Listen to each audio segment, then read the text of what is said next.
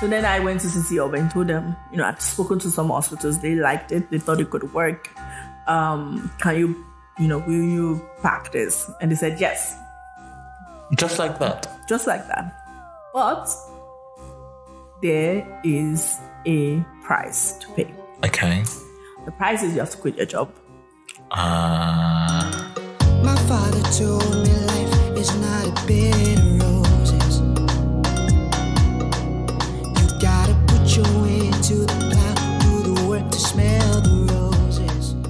this is Origins Africa podcast, where we explore the origin stories of people who have made and are making their dreams come true, asking the how, the what, the when, and the why. Let our heroes hold your hand. I'm Oshaye, and on this episode, Temie Giwa-Tubosun shares her origin story and how an impactful encounter she had with Aisha in Kano in 2008 gave birth to LifeBank, a healthcare technology and logistics company.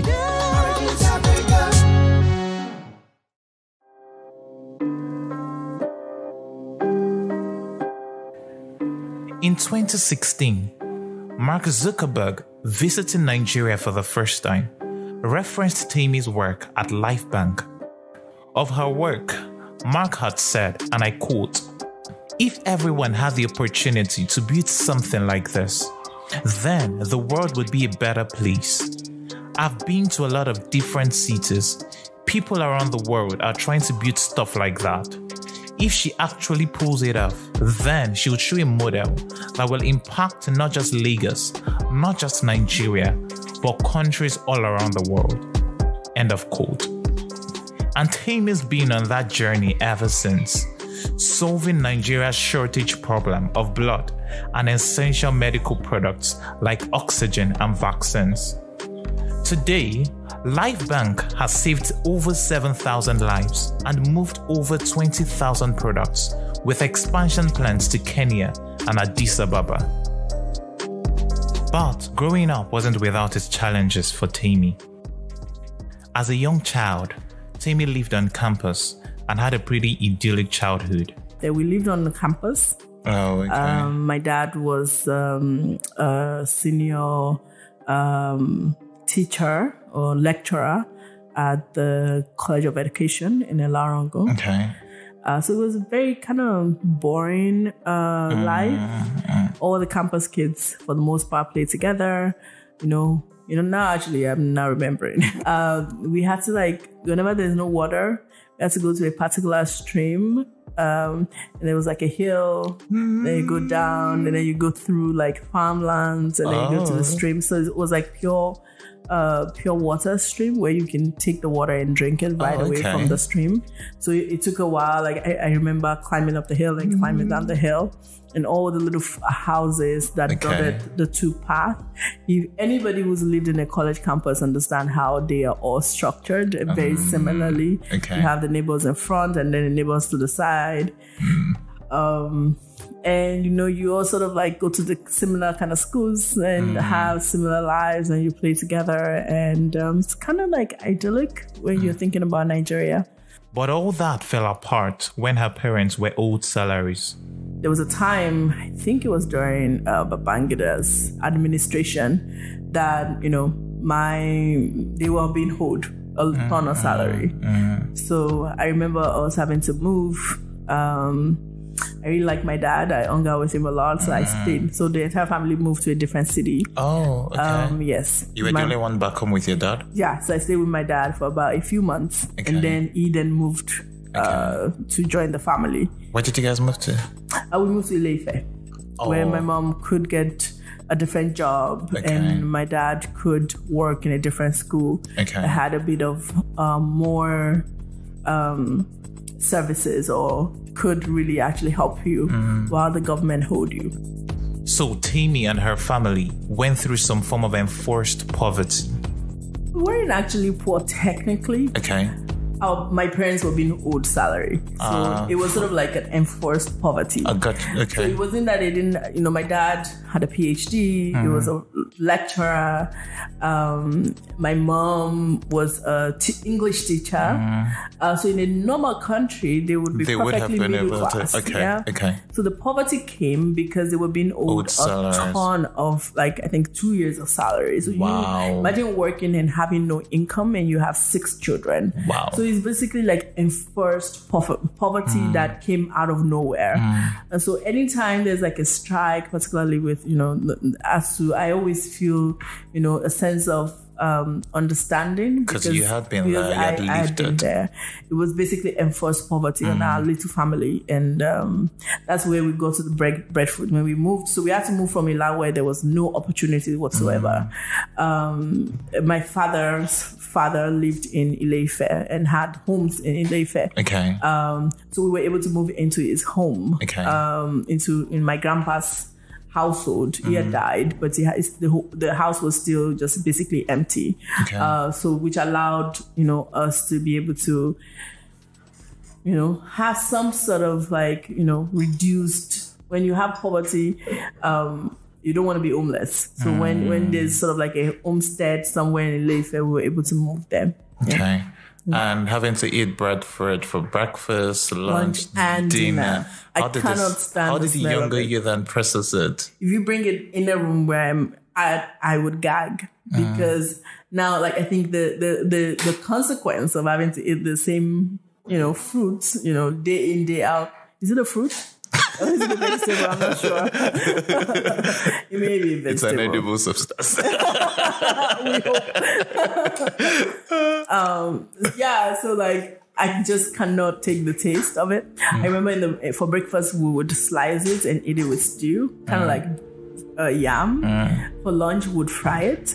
For dinner we'll make it into like a paste and eat it with efo, uh, which is vegetable stew. okay. Um, and that was literally my life for almost a year. Wow. So think Same about thing same every thing. day breakfast, lunch, dinner, and then we had to use those like uh, abacha stove. I think they're called, where you sort of like pack sawdust. Mm-hmm. Like those, those, the people who grew up in Lagos may not understand this, Uh, but those of us in like in the interlands in the in the southwest, we had this abacha stove. So it's like a the stove is made of steel, and then you pack sawdust into it, and then you put Wow. like fire inside it. So as the sawdust sort of like slowly uh, catches fire, it heats up whatever you put on it. Um, so we, I remember like also uh, a memory is going to um, going to like um, wood, you know, wood shops okay. and buying stacks and stacks and packing them into uh, into sort of like those uh, white uh, bags that you Oh, put okay, food stuff okay. in.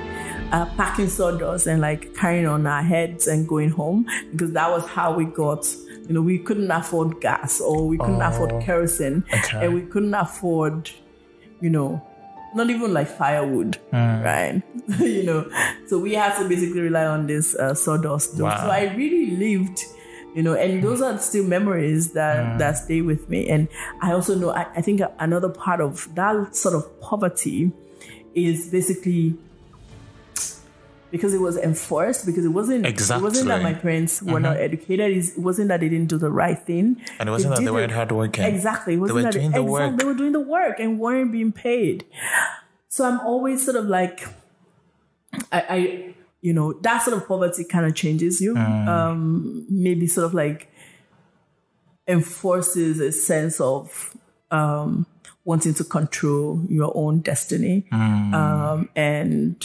um wanting to ensure that that doesn't happen again Mm. yeah Wanted to control your own destiny. Do you mean like having your own company and not working under I don't someone? know. I don't know, but just there's a sense of yeah. There's just I've always felt a need uh, to be in Being control. control. Yeah. Perhaps it comes from that. I don't know. Mm. You know, lot- I'm you know I'm not a psychologist, but I'm sure a psychologist will tell me that you know it comes from that. But there's always always been a sense of wanting to control my destiny and wanting Mm. at to the be mercy in of control. someone. Exactly. But by some stroke of luck, when Temie was nine years old, her mom won a lottery to the United States. At that time, we were, yeah, we were still living in Ile-Ife. And uh, so my mom had a, a nephew uh, who lived in the US. And our nephew was, um, you know, really loved, she helped raise him. She was sort of like his babysitter when he was growing up. Uh, so he felt, he remembered her and they had a close bond. So when this opportunity, and this was a common thing Nigerian did, you know, at the time, the visa lottery to the US was kind of like how we treat Canada now. Mm-hmm, mm-hmm, um, so mm-hmm, at the time, so he had put her name into the lottery and he had been putting names into the lottery like for years and no family member ever won. And it wasn't just my mom's name that they put, they put all the family members' name into it. And he put her name and she won. I remember the entire family being like really kind of like not into it. but then she won. And it was really incredible. It was one of those lucky breaks that happen in your life. Um, I like to think that I would still be this awesome, you know, regardless, regardless of what happens. But you know, I think it was a lucky break. Um, it was a lucky break that allowed our family to ex- escape this endemic poverty. Uh, that doesn't come from the fact that they're not hardworking, but that comes from the fact that you have a poor government. Yeah. Also, um, in, another interesting thing about the story was uh, so she had won it and then she had kept it under her pillow. Yes. because I think she had won it and she had like reached out to some people Okay. and they told her how much it would cost. And my dad was like, nah. Oh, you know, okay. he really loved his job, was a professor, you know, he was well respected. I mean, although there was no money, but you know, he was highly respected in the society. Um, and, you know, he was, you know, he felt like they could figure it out here.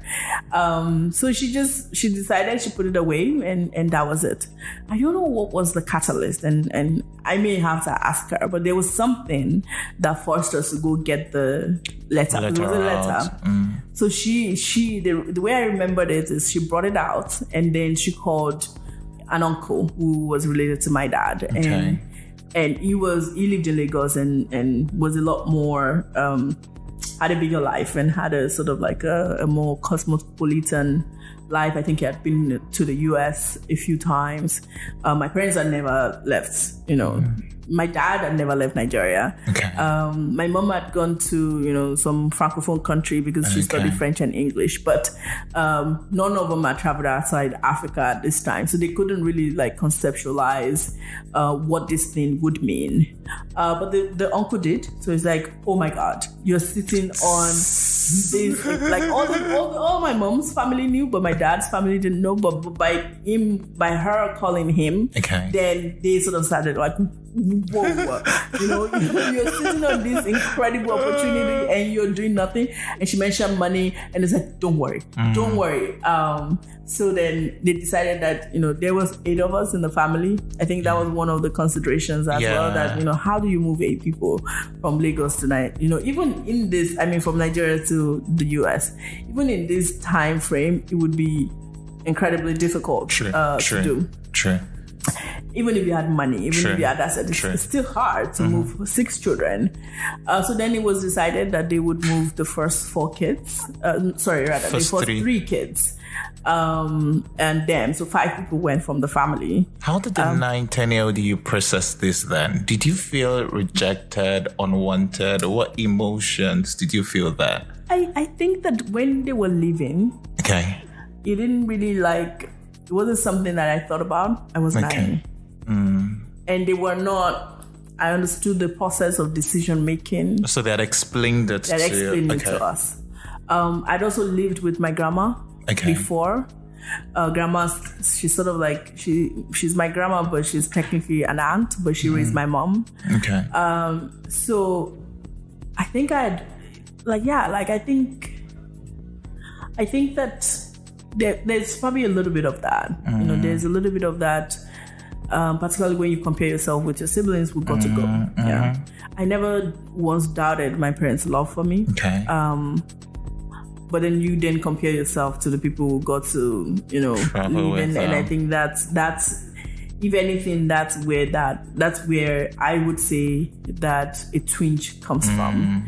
This idea that other people were going and you were not. Yeah. Not that my parents were abandoned. Okay. Yeah. Okay. Yeah. But I think that there's a bit yeah, I think there's a little bit of that as well. Um, where you just feel like, you know, I had to live with family members. They were not the most um, loving or open folks. And, you know, all of that, you know, stays with you. Um, I think for me, I'm highly independent. And I think that comes from that That early break experience. Okay. in in um, the bonding relationship with the, with parents. So when you don't get when you don't have a parent for five years, you learn to rely on yourself and rely on yourself for not just for I mean they did the right thing. They sent you know they made sure we were well cared for. Okay. Um, so it wasn't like ooh, Were you in bye. communication with them? Yes, Or, we spoke to them every Sunday, so there was communication. But you know, there's only so much emotional um, support and emotional um, care care that you could get from the phone. Um, and yeah, so I think there's a little bit of that where you know you just end up relying on yourself for emotional well-being. Um, I think it also eh, probably brought out my really horrible um, introversion much earlier. Because then you know you're part of a big family and then all of a sudden you're like a lonesome a, a, a one man army. Because they, my, my two siblings were still with me um, but they were much younger um, I was eight years younger older than the next one Wow. so it was a wide age gap. So you, I didn't also have a sister that, you know, you could share the burden and share your thoughts with. So it was just me and a three year old. Yeah. I also And- learned you had to become an adult quickly. So Yes. yeah, because you had to be the parents to them. exactly. Um, going to the PTA meetings, Exactly. Yes. speaking them from school. Yes. um, yes. So I, I felt like I, I was telling my, you know, I was telling someone recently that, you know, I've been a mom for since I was 10. Wow. and um, so being a mom now it's it's not something that that's new you know because it's this exact same process. Basically doing emotional and physical labor on behalf of someone you love. And that's something i've been doing since i was 10 Looking back, would you say, um, had you maybe one time or the other thought that maybe your childhood was taken from you, or you didn't exactly have a childhood? you know that's something you you say when you're like well fed and American. you know, eh, you, you don't, I don't think there's a ten year old who, who, no matter what, be like, oh my No, but I'm has saying been looking away. back now. I mean, looking back, yes, that's the reality. I Uh-huh. stopped being a child. You know, Mm. I don't think that they took it. I, I- just when I was ten, I stopped being a child, and that was it. Mm. And I think it happens to a lot of people. If you lose a parent, um, you know, if parents lose jobs, you know, if something major happens to cut off the life you've known, um, you just basically stop being a child, and it's traumatic. Uh, there's a lot of trauma there. Um, I'm not gonna sugarcoat it. I had to go to therapy. You know, I, I went to I I mean these are not things that you can just gloss over. Um, there will be consequences in in your life. You would not have very good relationships if you have major traumas that you've not dealt with. So when I was about uh, 22, I went to I went to therapy and dealt with a lot of those things. So now I can talk about it in in less like there's a distance because I've dealt with it. Okay. Yeah. Okay. Um, and you know, it's just you know your your childhood. You know, um, yeah, you stop being a child. Exactly. You, you just stop because before then, there's someone you can who's responsible for you for your emotional well-being, for your physical well-being, for your And you can play, you can be carefree, you can have all the carefree, You can have feuds. I used to feud with my siblings. they were like three of them. They were like sort of like a gang against Mm-hmm. one of me, uh, which is probably why my total account looks like what it looks like now. I, I've been feuding for since day one. Um, so I used to feud with my siblings, and um, and that's what you do when you you know you have siblings and, and you're a child. Uh, and that all stopped when my parents left. After five years of Temie's parents working two to three jobs each, they were able to get a house in Minnesota, make a much better life, and return for Tammy and her younger siblings. Um, so going back or going to the US and reuniting with your siblings and your parents, uh, was I strained at the beginning? Oh, that's actually where I don't think there was much of a problem while I was in Nigeria, but there was a lot. Oh, there was a lot after that. Um, when we got to the US first, my mom, of course, she's the mother of the younger two, but so was I. Ah, So, okay. so there was a lot of struggle in who is their mom. And she and I had a lot of fights, wars Wow. over the two children. Um, and I, thi- I think that was actually the big adjustment. You're 10, you became the primary caregiver of these two kids. You're 15, and you're now being asked to become a child again. It wasn't it wasn't so much the process of what was actually hard was not the process of losing your childhood. That's why I think mm, when you were talking mm. about it, I didn't really see it that way. Mm. The difficulty was getting back to becoming a child. That was it. It was a quick switch. You know, you're alone. They are young They assume the they look up to you, you're their sibling, so you mm-hmm. naturally offer that mm-hmm. care. And maybe I, I'm just natural. Maybe it, maybe it was easy for me, but what was really almost impossible was the switch. Until I went away to college, we were still having that struggle. So then, when I was 17, I went away to college and I left home, and I think that was what helped heal um, the relationship. And after college, I went to therapy. So that's that's the story. Okay. Yeah. Okay. Yeah. But the process of letting go of the maternal feelings on those two children was really, really almost impo- was impossible. Um, without that distance that college provided, I would not have been able to do it. What about reuniting with your older siblings? That was just there was nothing like we just Did you guys basically bond, or it was basically? No, we just started um, feuding hi, again. hi. I really oh, like okay. the relationship has been feuding like since day one. Okay. So nothing really changed. We were Okay. just we just we still feuding till today. So like at any given Okay. time, I'm That's feuding great. with one That's of them. So I think like that one was actually pretty easy. My dad and I still bonded. Nothing. It was like the the and my mom and I also bonded, Mm. but it was just that process of these are my children. I'm like nah, you know that sort of thing. And Mm. it, was never you know Nigerian parents don't also unfortunately Nigerian families don't talk about feelings. True. True. Perhaps if the feeling and all of these things I'm telling you, was, I was not aware of it at the time that that's what's going on. But it would be, you know, she would scold them. I would go into a rage. Do you understand? She would make decisions Without consulting you. angry. She would she would decide what they were wearing in the morning. And I would be just so Livid. upset. And any maternal decision she wanted to make about them, I was happy for her to be my mom. Like But so it wasn't about her mothering me, it was about mothering these are my kids. Back off. Wow. And and she's like, no, those are my kids. like you, you're a child. I'm your mother. Um, and I think that was that was the issue. That was the issue. Like she she'll literally be like scolding one of them, and I will get in front of them and put them back to my back. I'll push them to my back and stand in front of her, like looking at her, like now what? You know. It was sort of like it was that was that was a big adjustment. And I think the distance helped. And um, we have a very great relationship now. That's great. That's great.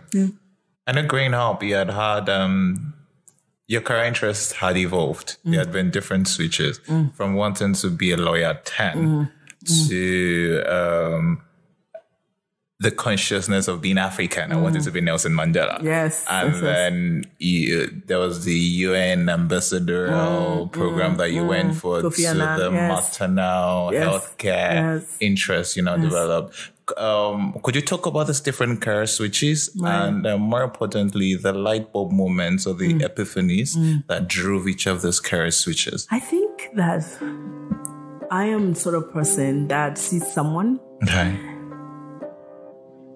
it doesn't matter. So a lot of people try to, and, and I think this is normal for most kids. You you see an example of a good life that you aspire to. I think because I basically lost that with my parents early on, I always look outside uh, Okay. to people who are prominent people and basically aspire to whatever it is. Okay. I give them. Not, it's not the prominence, but it's more like the the public respect and the the, the idea of giving back, being loved. Um, and the first person was Gani Fawehinmi.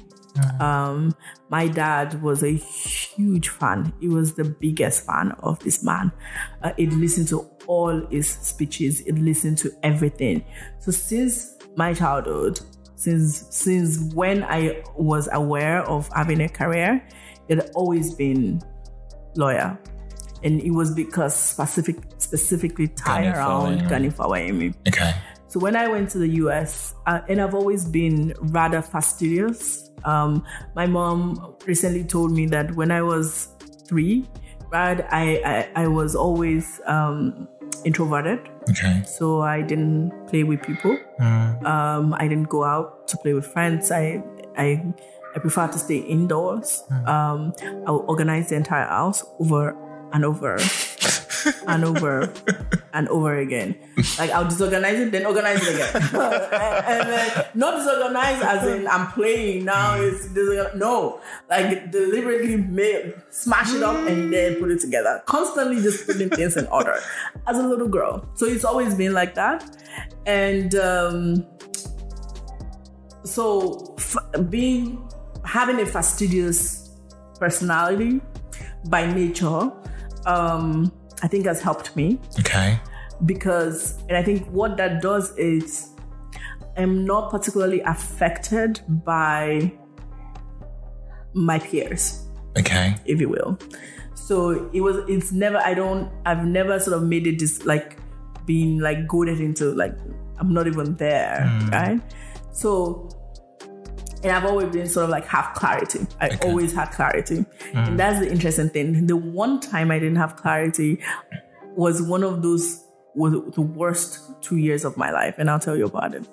Um, but yeah, like since day one, I'd always had clarity about wanting to be a lawyer. And once I'm clear about what I want, I attack it with everything I have. And I have the my and I think I got this from my mom. I have the capacity to work. Right? I enjoy working Okay. as long as it's within the clarity and and and tied to what I I I do. Uh, I was telling someone recently that running LifeBank is like a symphony. Like it's like there's a music mm. playing in my head. That's great. When I'm here, I am. This is at my. I'm at my best. Hmm. I am at my most serene. I am just. No work is Wow. the easy thing for hmm. me. So it's that organizing thing process Okay. too. Uh, so I decided to be a lawyer. When I got to the US, I immediately got an internship at a law firm. Uh, there was a family friend who was a lawyer who uh, was Caucasian. She had a big law firm in Minneapolis. Um, every summer, every summer break, every midterm break, I'd go to there to to a law firm. okay. I would not. I would take a bus, a public bus, just to get to Minneapolis. I live in a suburb okay. um, I'll get to Minneapolis. I would just sit in our office. I wouldn't, I'm not doing much because I'm mm-hmm. 17 at this point, mm-hmm, 16, mm-hmm, 17, and 18 years old. So it wasn't like I was really adding value, but she'll take me to court. I've been to mm. like at least, I'm, I've been to four trials Wow. you know, in the US. She would take me to court. She would, I remember I went to, uh, she was, a, thankfully she was family law. She Okay. it. She, she was family lawyer. So it was mostly like divorce and, mm. and, you know, you know, custody, etc., that sort of thing. But she'd take him, take me to court, you know, and I learned everything. And Nancy is her name. She recently Okay. visited me in Nigeria. So we kept in Ah, touch okay. um, but I I had taken my first year, my freshman year in college. I took, you know, um, um, I took LSAT. LSAT is the entrance exam into into the to the law school in Oh, the okay. US. So that fastidious was part of this whole thing. And then, and it was always centered around Gani Fawehinmi, Gani Fawehinmi. Uh, anytime I thought about who I wanted to be like, it was always Gani Fawehinmi. And then after that, um, I went to college. First, I think it was a sophomore year in college, a sophomore junior year in college. So freshman is year one, sophomore is two, junior and then senior year. So in my in my I think it was sophomore. Um, I um basically started Model UN. So Model Model, UN. Model United Nations a club in, in our school. Okay. Um, mostly, I studied political science because you, you can't study, there's no pre law uh, in undergrad for in, in the US. You basically study whatever you want, then you take the LSAT. Okay. Usually, you want to study political science. Mm. That's probably why a lot of American, like a lot of American politicians are lawyers. Uh, so you study political science and then you go to law school, and that's how you become a lawyer. Or you can do psychology. Some people do psychology. Some people do English. Uh, but it's usually around that like uh, liberal arts uh, degree. Okay. So I was studying political science and Any particular reason for choosing it? Uh, political science. It was just you know there was no reason. okay. I didn't really care about politics. It was never about the politics of Go it. was law school. Let me It was do just law school. Like, it was like, political you know, this like I actually started with psychology, but it was hard. Ah, okay. So I switched to political science. Like my first term, Okay. two term in college was psychology, and then they were like, like, you know, you have to do like psychoanalysis. We're learning about Freud and all this. I was like, nah, nah, like nah, bro. like I'm not interested. No, like thank you, but no thanks. Um, so went to political science, and the political science kids were like international. Okay. So I think there was something about my school that was a bit different. Like most of the, so we had Japanese students in the political science department. Psychology were all like, you know, Caucasians, Yeah. and then the business, so it was either the business school or the political school or oh, the okay. sort of like international school that had like people of color. Okay. So, and I wasn't trying to be, you know, mm. I wanted to go hang out with my friends, mm, you know. Mm. So I decided on the international school, which political science was sort of like the biggest uh, Okay. degree for international. You either do international relation, but we were all always intertwined. Okay. So I did political science. I didn't do international relationship because at time I didn't want an international career. I was gonna be an American. I was gonna have like you know the two point five kids, the American dream. Mm. That was the plan, and be a lawyer. So, anyways, I didn't model UN because that was what all the cool kids in political science did, Did. and we got to travel. So, model UN, there was a major conference in the in the Midwest Okay. of all the universities model UN clubs. There was a big conference, and that conference was always lit. You know, Mm. you could bring drinks, and in college that was the in thing. Okay. In the US, you have to be 21 Mhm. to drink, and um, we were all not 21. But you know, the UN, the conference was known for being able to sneak in because the ones who were 21 will bring in, and then we all hang out, and then we'll drink. Anyways, so I was like, yes, that's what I want to do. so I joined the Model UN, and my life changed. Um, and my life changed because I was, I basically became aware. It's gonna sound so ignorant and so American. As I'm thinking it, I'm trying to like say, let me say this in a different way. But I basically became aware of Africa's plight. And all of my life, even while I was in Nigeria, I wasn't African. I was Nigerian. I was hmm. not even Nigerian. I don't, I don't think that Nigerian kids conceptualize themselves, particularly when you're living in like interlands, as Nigerian. You think of yourself as Yoruba. Yeah? So I was Yoruba when I was living in Nigeria. Until Model UN, hmm. I became first African and then Nigerian, but mostly African. And as an African, and you're you're like in the Model UN, you're Model UN basically means you're creating mini UNs. So I was the honorable representative on the uh, social and economic um, committee of you know Kenya or of Morocco, and then the job is to write uh, resolutions and write all of these things and submit it as a UN, and then you debate it.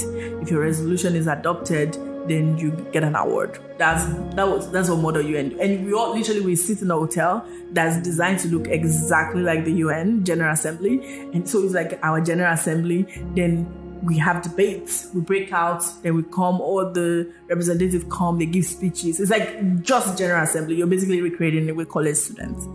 Um, so then I, the first time I represented Kenya, no, either Kenya or South Africa, I can't remember. And I was in the social and humanitarian uh, committee, and we were writing uh, an article about hunger. That was my first understanding of hunger in Africa. I, I was not aware of it. I didn't know that it was a thing. And I started researching. I had found out about like famines and etc. And I was really taken aback and shocked. Um, the next year, I was um, I was inexplicably representing Greece, and again the social and humanitarian, and I did HIV/AIDS, and that was what my resolution was about, and I won uh, because my resolution was adopted. I was I was selected as a special rapporteur.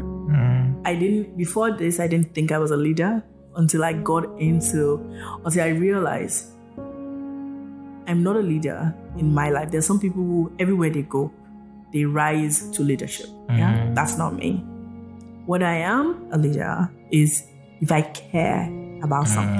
Mm, okay. If I happen to, if if I am involved, Something in you're it, passionate if- about. I don't want to use passion. Like if Okay. he, if he, if he sort of like speaks to me, then I will speak out, and then the introversion, all of that, just falls apart.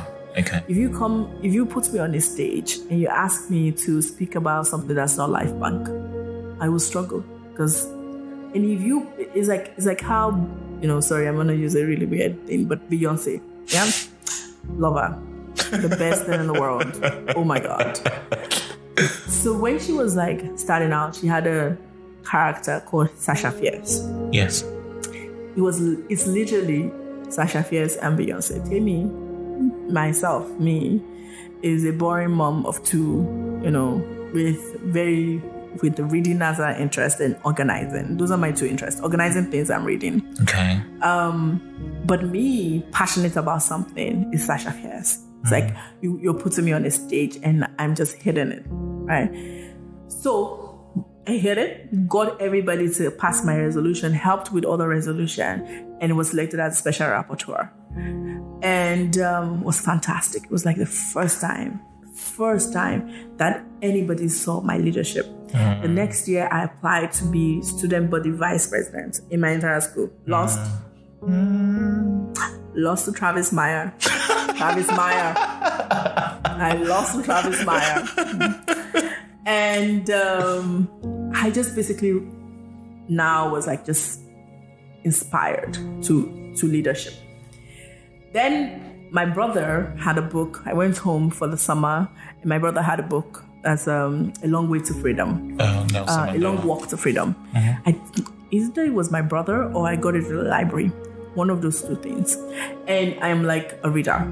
I read. Ooh, I read everything. Okay. I love reading. I adore reading. So anytime I'm on holiday, I just look for books anywhere. And I was always like, oh, I was always having to pay the library. We had local libraries in the mm, US. I was constantly late. Oh my God, late fees. Oh my God, all my summer money went to late fees in the library. All I ever want to do, the joy, the joy I've ever, like, the, my most joyful moment is walking into a library. That's cool. After walking, summers I used to walk from home to the library. It was like about 30 minutes walk. So I'll be really hot outside. Um, but then I'll enter that library and I'll smell those books. Fiction and non-fiction or both. I don't care. Okay. Anything. Non-fiction, biographies, fiction, oh, romance novels, uh, spy novels, anything. Give me anything, I'll read it. So, anyways, um, found Long Walk for Freedom, read it, and I was captivated by this man. Here was this man who gave his freedom for his people, and he seemed ordinary. And I think that was what was interesting about Nelson. My son, we, we named him Nelson. Uh, his middle name is. Nelson. But what was so interesting about Madiba was that when it was the book, it made him seem ordinary in the beginning, like me. He was simple. He was, um, I believe, he was taken from his home about the same age when I was, when my parents okay. left. He had to go live with an uncle, just like I did. um, it seemed to have the same wounds and the same. And he was a lawyer. So just piecing it So it was just like, oh my God. Okay. This is who I want to be. Mm, okay. Not this is who I am. Like this is who I can be, and that was it. And that I threw myself into international. I, I didn't switch my major because I was a junior this time. Okay. I threw myself into international relations. I studied everything that there is to study. Um, I wrote articles. I joined the the clubs, all the international clubs. Became president of one. Um, and again, if something captivates me, I'm happy to switch. I'm happy to leave law behind. I was very happy to leave law behind, although I'd been working on it for so long. But then here was a new dream. Switched my entire life, went international, graduated um, in four years, and then the confusion began. So these two years after graduation and before I went to graduate school were the most confusing two years of my life. It was because it was is the first and only time I've never had clarity. And I think what happened was I basically woke up one day and I felt in my soul that I needed to decide. I needed to decide whether I was going to have an international life or an American life. Funny enough, when I read um, Barack Obama's um, biography, Okay. he talks about the exact same thing happening to him. Basically, the process of having to decide. He ended up deciding to have an American life. I decided to have an international, life and it was the worst i think it was about 18 months it was the worst 18 months of my life i did odd jobs i didn't really have direction i was really sad i was living at home with my parents um, and one day i just decided okay you're gonna have an international life and that's enough and that's fine How did you decide? books Okay. um, I read books. Uh, I seem to recall this is gonna sound really ignorant. Like every time I think I, I'm saying something, I'm like, I read a book called Eat, Pray, Love. April love. Eat, Pray, Love. Eat, pray, love. Okay. Have you heard of it? I think Oh, so. thank God. Alright.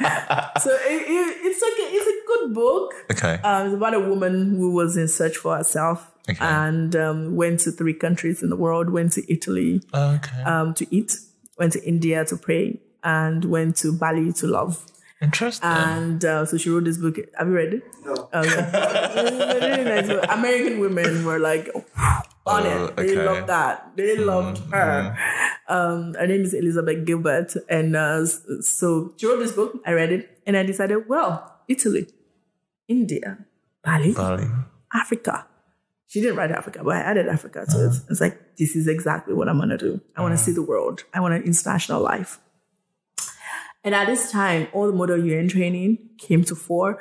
At the time, the head of Model UN was a Ghanaian. Okay. Um, What's his name? What's his name? I just the Secretary. General of UN. Secretary General Kofi Annan? UN. Kofi Annan. Okay. Thank you. Kofi was the Mr. Annan was uh, the Secretary General of the UN at the time, and I was like, "This is it. I'm gonna be the Secretary General of the UN. Ah, That's it. That's the new goal, right?" So, So I- from lawyer Gani Fawehinmi So to Nelson Gani Fayose, Mandela. Nelson Mandela. Nelson stayed. I never left it behind. And Gani also stayed because I think the lesson that I learned from every one of them stayed. Okay. Gani was a public defender.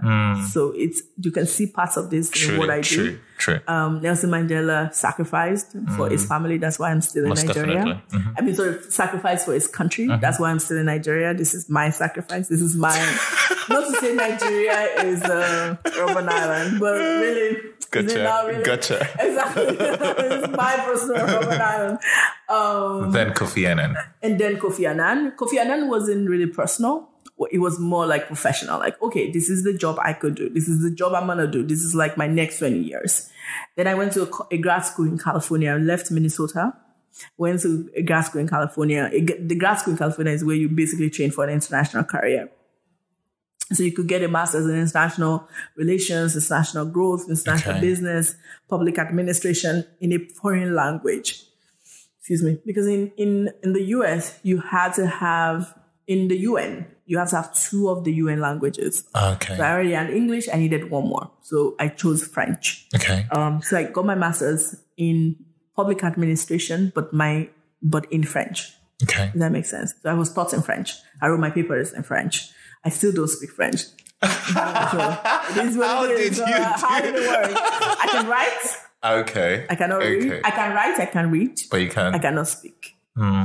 Which is funny. Yoruba is the opposite. I can speak perfect in Chile, clear Hmm. Yoruba, but I cannot write it and I cannot I cannot read it. Okay. So, anyways, um, so I then um, finished my master's. I did it in.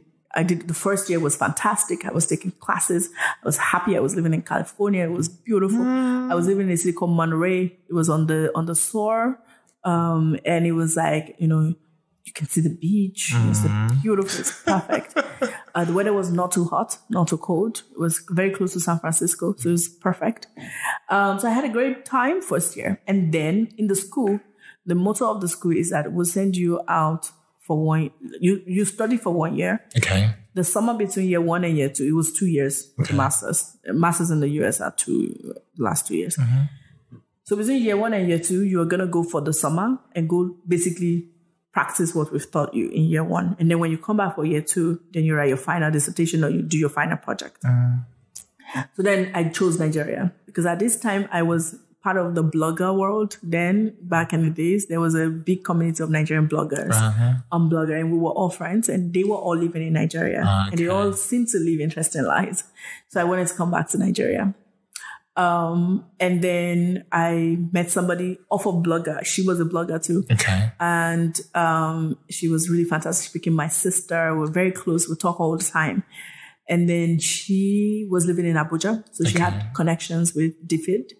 Uh, she knew someone who What's worked there. DFID is Department for International Development. Okay. It's sort of like an Amer- um, it's a British agent, UK agency Okay. in Nigeria Okay. that's most concerned about international health, um, sorry, international development. Okay. So healthcare, education, security, etc.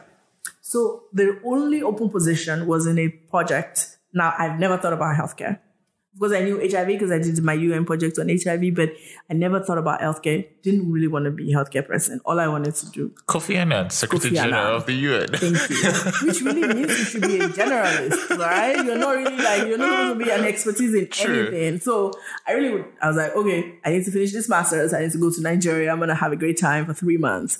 Um, the only project that I could find a, a- a- an internship in was a project called Partnership for Transforming Health System, Okay. Part Two, and they had an opening in the health economics team. I did nothing about health economics, but okay, I'll go. So I went, and what they wanted me to do was not even actually health economics. They wanted me to undo. They noticed that I am good at organizing hmm. again. So they're like, oh, this girl is good at organizing. You give her anything, she fixes and makes it work. Okay, we're going to send you to Kano, Jigawa, and Kaduna. Okay. We're going to organize our household survey hmm. because we're starting a new project and we need to do a pre-survey. What Yeah. year was this? Can you remember? Is it a 2007, 8 or 9? I think it's 8.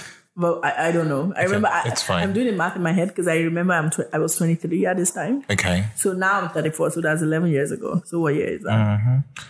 11 years ago, that's 2009. So it's 2008. So in 2008, moved down to Nigeria, went to live in Kano. My base was in Kano. So I, I was living in a, in a lovely hotel in Kano. I'll go to uh, to Abuja once in a while when I needed to get back to um, call my parents, etc. Uh, but I was mostly in Kano. And um, I was just living a normal life. I enjoyed it. I did the little hijab and I fit in perfectly. It was fantastic. Uh, people were really kind to me. Um, so I really, I have great thoughts about Kano till now. Um, and, um, yeah, so one day, uh, while we were doing house, so the house of survey is you go to village after village after village, you ask people about their healthcare and what they think about it and how many people have died, etc. So one day we went to a village it was um, it was during the day. So usually it's the the men are in the field. Um, you the women are usually at home, like tending the household, making the meals, and so it was really rare to see a bunch of people standing in front of a hut. So we, we then we saw the team saw a bunch of people standing in front of the hut. So it was like, oh, this is what's happening there. So we stopped. Had some people who said they were waiting for someone to die, Waiting Why? for someone to die. waiting for someone to die. What happened? She's been in labor for three days. The baby is not, labor is not progressing. They think the baby's hand is out, mm-hmm. but nothing else is out. Mm-hmm. They don't have any money to get her to the hospital. There are no cars in the village. And they were basically standing around to see when she's gonna pack up. And this is day three. She was about 21 at the time. So she wasn't a child. But this was the first time that I would ever, and this is gonna sound ignorant, but this was the first time that I would ever feel privileged. Hmm. Privileged. Because often when you're young, you're really stuck in your own head. You can't really see outsiders. But entering this village in Kano and seeing and, and, and meeting Aisha, Aisha was her name. Waiting to die for no reason, something that a simple C section could take care of. Hmm. Made me really feel my own privilege and made me feel shitty. That's the best word for it. Hmm. Because I knew instinctively that there was no way that I would ever be in that position. And there was nothing I'd done to make me deserve that knowledge. And that there was nothing she did to put her in this situation. We were both Nigerian. Perhaps if I was not Nigerian, it wouldn't have felt that way. We were both Nigerian and we had come we were both brought up in similar areas. I lived in a very small town. And I had a completely different trajectory for my life than she does. Mm. She was stuck here and people were waiting for her to die. So I was really shocked by her story. I basically went back, you know, to my hotel, locked the door for three days. Nobody could find me. Um, had a really horrible reaction to it. Cried and cried and cried. And I think it was one of those turning points. And that was how I became a healthcare person. I went back after the internship was over. I had a great time. They were really kind to me. I went back to California, finished my master's, changed the. I was like a man on fire. I was on fire. No more longer Kofi Annan. No, this was now. You're gonna end maternal death forever. Sorry, I- Wow.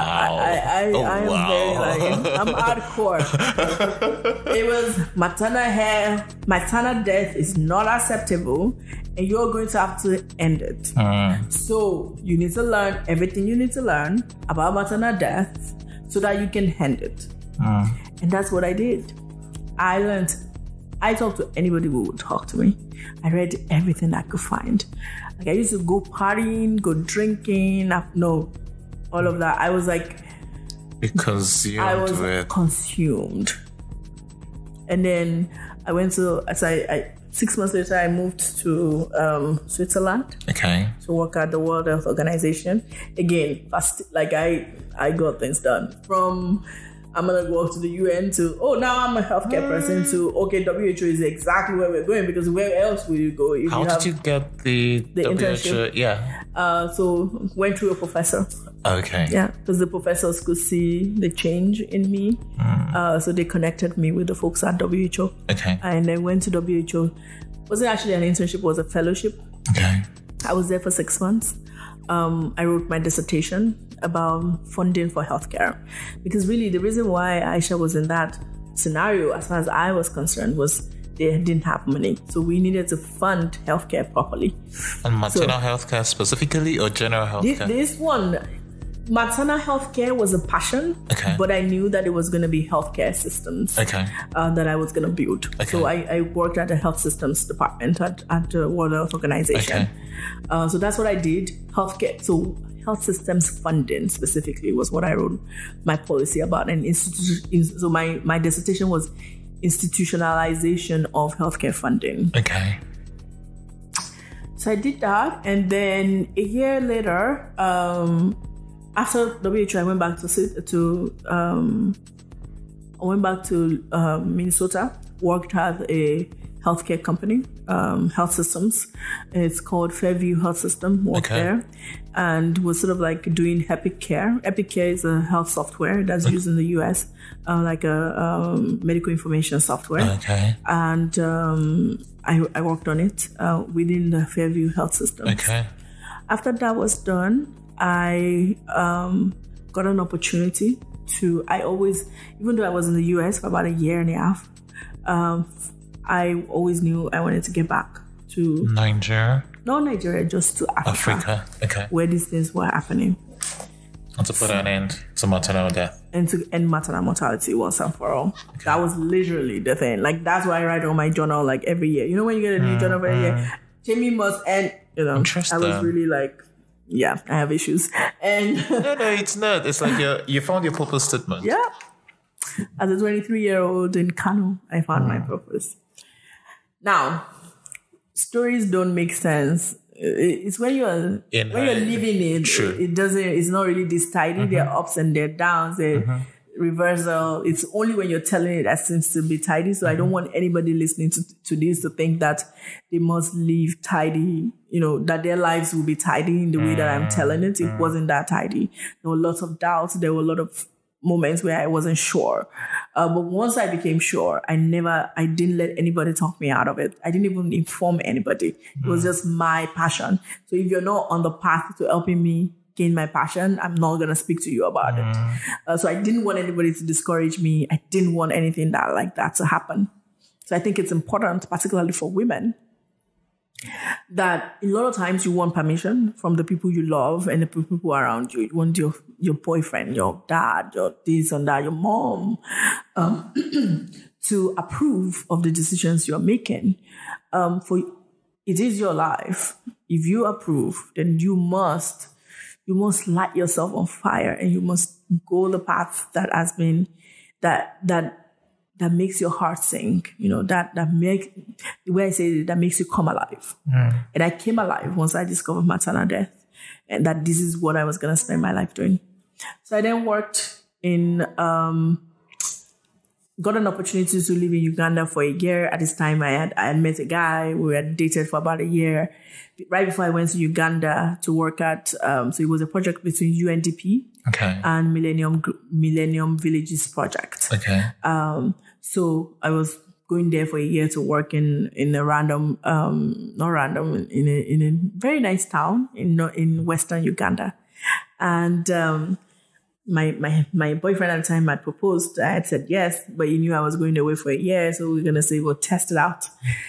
I had a great time. I enjoyed my time in Uganda. It was one great year of learning. Was I it maternal health project?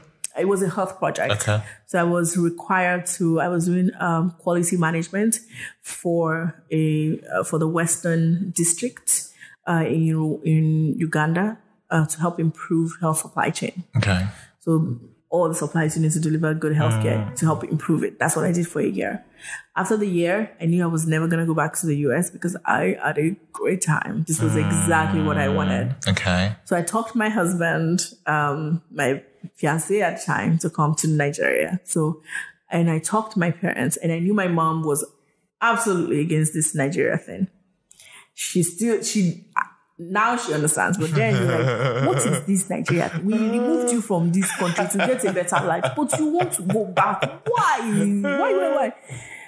So I said, okay, everybody comes to Nigeria. I'm getting married in Nigeria. Uh. I'm going back after the wedding, but you all come. So she comes. I'm in Nigeria. I moved from Uganda down to Nigeria. My husband moves from the US tonight. He knew that we were not going back, mm. but my mom didn't know. Mm. So they landed. They're like, "Oh yeah, so when is the fly back?" I'm like, "So after the wedding, we got married. Everything was fine." My mom was like, "Oh, so when is the flight back?" I was like, "Which flight?" he was not amused. He was unhappy, but you know, she's like, okay, whatever, you're crazy, you want to do whatever you want, you're always changing and blah, blah, blah. I like, okay, fine, mom. Because I, think she liked the lawyer daughter thing, like she mm, really liked it, but I Okay. had grown and lived, and things were had changed. And then, like, even an incident happened, like, I think a, two weeks after we got married, you know, I was carjacked in Lagos. Oh. Yes, you know, and they, I had, I had been kept in the car as insurance and basically kidnapped for like Wow. two hours. They drove me around. The car was finally switched off and then they had to run. And this process, um, my mom was like, "Oh, I'm booking your ticket tonight," because she had not left. She was still in Nigeria Oh, for the wedding. She was like, "Oh, We're getting back I'm together. booking your ticket tonight." But you know, she's very, you know, unfortunately very patriarchal. When so when the husband said no, mom, we're staying, then she like cooled down. She she backed off. Okay. Um, so we then stayed, um, had a good life, worked for Lagos State for a bit. Um, had a really, I worked for the Office of Facility Management and Maintenance. We were How did you of get the job? Twitter. Okay. How? So I, I, I was at this point I was writing. Okay. Um, um, I wrote a, uh, I You wrote had a an- blog or? No, no, no blog. I wrote for a, a YNaija. Oh, was okay, a magazine okay, at the time, and I wrote a, a uh, so there was a front page uh, project they did where one prominent person in Nigeria would write an article um, every week, Okay. uh, every day of the week. Okay. Um, so people like Akin Oyebode, who now works at um, at uh, who was in Lagos State government and then went to Ekiti State Okay. government, was part of it. We had a lot of different people who were writing. You know, I think Japheth Omojuwa Okay, was part of it. So we were all sort of like Ebuka. I think was there Ebuka Uchendu. Oh, right. Um, okay. So, and I was one of them. The more more policy oriented Mm-hmm. writer and quieter. Um, so I wrote. So I was I was a little bit prominent um, at the time. Uh, so that's how I I got the Lagos Okay. State gig. Okay. So I worked with them for a year, and um, I, I basically led a team that did facility management and maintenance. So they would go around public facility like schools, hospitals, um, you know, uh, sta- stadiums, etc. And they go. I, I led. I was the operations manager. I led a team of uh, engineers uh, going around checking the structures. Then once the structure is, is checked and we have the sort of like the purchase order that needs to be fixed, then I, I, I leave that, then go to the next one. But I wanted to be more, I left that job. It was a great job. I enjoyed it, but because I, I really wanted to be in healthcare. Okay. And although we did hospitals, it was not all we did. And this was not what I wanted. So I left. We're still very good friends with them. And um, I got a job working in Nollywood, Okay. but in healthcare. How did you get this one? So this one actually just applied normally. Okay. Um, no, actually, a contact of mine sent it to me. Okay. A contact of Twitter actually sent me the job. So you told them you were um, open to new job opportunities. No, no, no, no, no. So I was still, I was still um, at the at the Okay. Lagos State when I got the job. Okay. Somebody just sent it to me. Do you know somebody in healthcare? Because I was known for healthcare at the time. Okay. Particularly in my writing, I always wrote about healthcare. Okay. Other things, but healthcare as well. Um. So then I, yeah. So I got a job. My job was to write to figure out how to put health messages in popular Nollywood movies. So we'll get like I don't know, wedding party. This is an mm. example. We didn't mm-hmm, work on mm-hmm. wedding party. We'll get a, a movie like wedding party and insert some health messages that you Okay. will not know that it's a health message. Mm. Then you watch it and then you get a, the message. Maybe it's family planning. Maybe it's you know testing malaria Coartem. Um, making sure you you test malaria before you treat it. So those sorts of health messages, we just insert it. It was a great job. It was fun. Mm. Um, you know, I hung out with celebrities on set all the time. I remember meeting Mama G, and that was like really cool. Um, so I really like. I I mean, I work with Tonto Dikeh, all of these people. It was really great. Um, but I was pregnant at the time. Um, I went to the US where my parents live uh, to deliver my son. Um, and I was perfectly healthy. I remember still working. I, I have a thing for working. I remember the day that I caught my flight to the US, I worked. My husband literally had to come and drag me from from Ikeja to drive me to the airport. Otherwise, I would I may have missed my flight. So I really like working. Um, and anyways, I went to the US to have my baby, and I was perfectly fine. Right? I mean, if you could show up at work, uh, you must be fine. And then when I got to the US, at this time I was like seven weeks, seven months pregnant. Like almost like a week after, like almost a few days after I got to the US, all of a sudden I went into early labor. Okay. The baby was very early. It didn't make any sense. Um, I, be- I went to the hospital. I was rushed to the hospital. I was put on bed rest. Um, I had so many complications. I had gesta- gestational diabetes. Um, it's basically diabetes within birth, goes away after birth. Okay. Um, so I had the gestational diabetes. I had preeclampsia. Preeclampsia is uh, high blood pressure in pregnancy. Um, the baby was born early. Um, they induced me, and then the baby would not progress. So exactly what started this maternal health care um, Aisha's. push Okay. Aisha's story. Peace. it must be God uh, or the universe or whatever it is you believe in, because it's really random for me to then have a breech birth. So I have the exact same issue that Aisha had happen to me, and I was lucky, and my privilege came up. I got so I, I was in limbo for 26 hours. Um, it was everything was normal until 21 about the 21st hour then i got really sick really sick the baby was in distress now but within two hours i was already in i already had a full team of surgeons Wow. I had over almost 20 people in that room with me hmm. because I had so many complications. So there was a lot of people like looking to make sure that everything was well.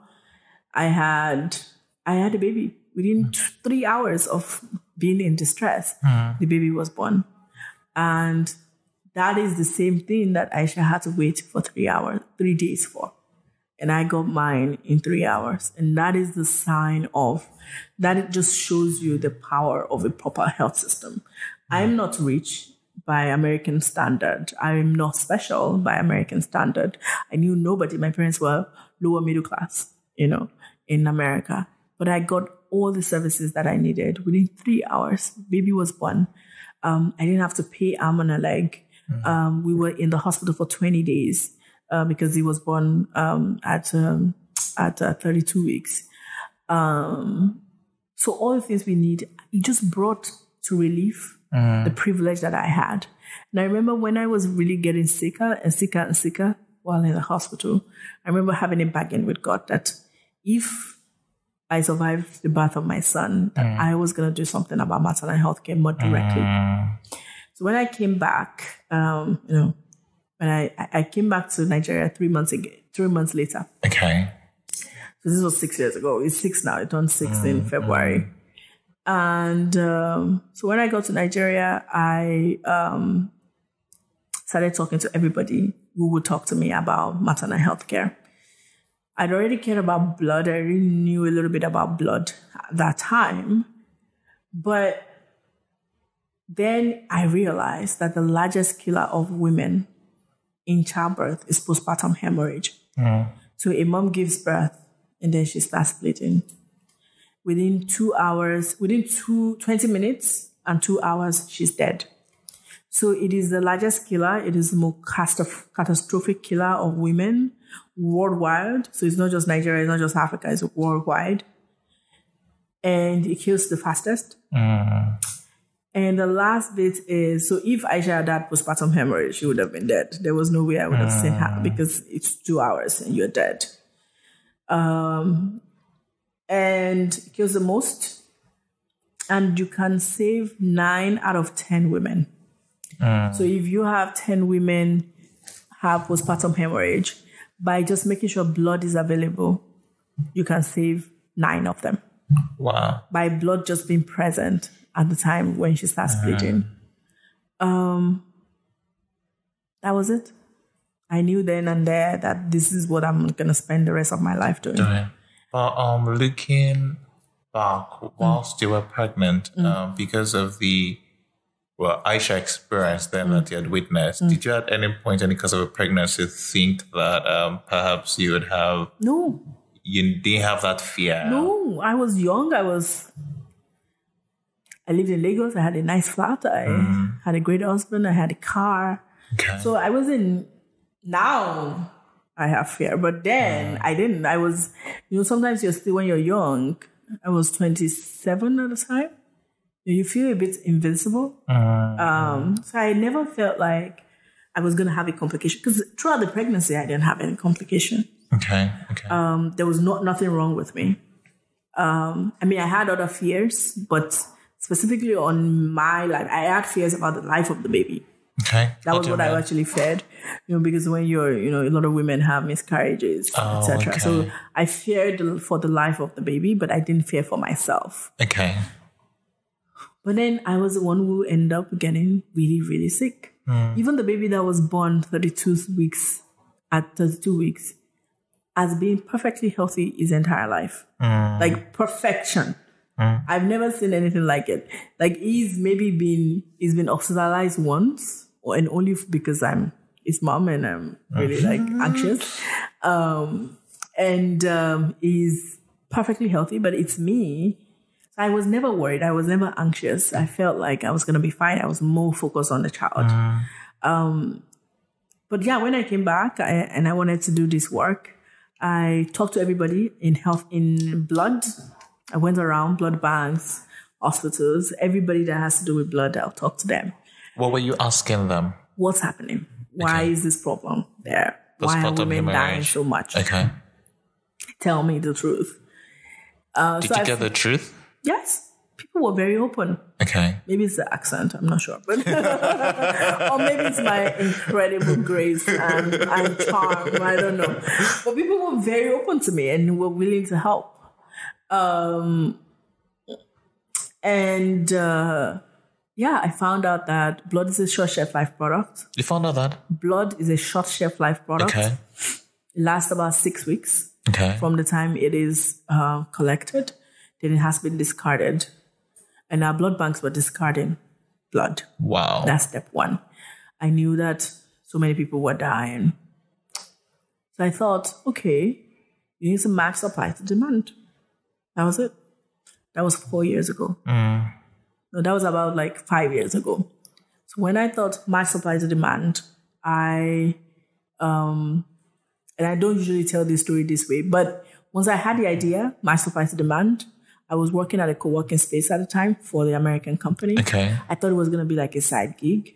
Um, I never had any thoughts of starting a company. Like I'm not like I've never inspired, aspired to entrepreneurship in my entire life. Like never once, ever, ever. It was always international career, solving problems, doing good things. Um, so I got a you know a developer who's actually downstairs to build something. Uh, the first iteration of um, LifeBank, um, the Plus, and um, you know, I remember shopping around and people who had some interest Shopping around for. uh, the product okay. to the hospitals and the blood Okay. banks. There was some interest, and then So you showed them the app that a developer they had that built. developer had built. How did you convince him? Sorry. How, how did you convince the developer? Oh, I paid him. Oh, okay. right, I paid him. There, there was no business at this time. Okay. It was just something I wanted to build. okay. Um, so I built it and I was going around saying, would this work? Would this work? Um, I'd not registered anything. Then I remember I was invited to something at CCHub Okay. and I loved what they were doing at CCHub. I remember speaking to somebody who had built a company inside CCHub. I was like, how did it work? She told me how they give you money. If you have an idea, they give you money, then you can start working in this office and build your business.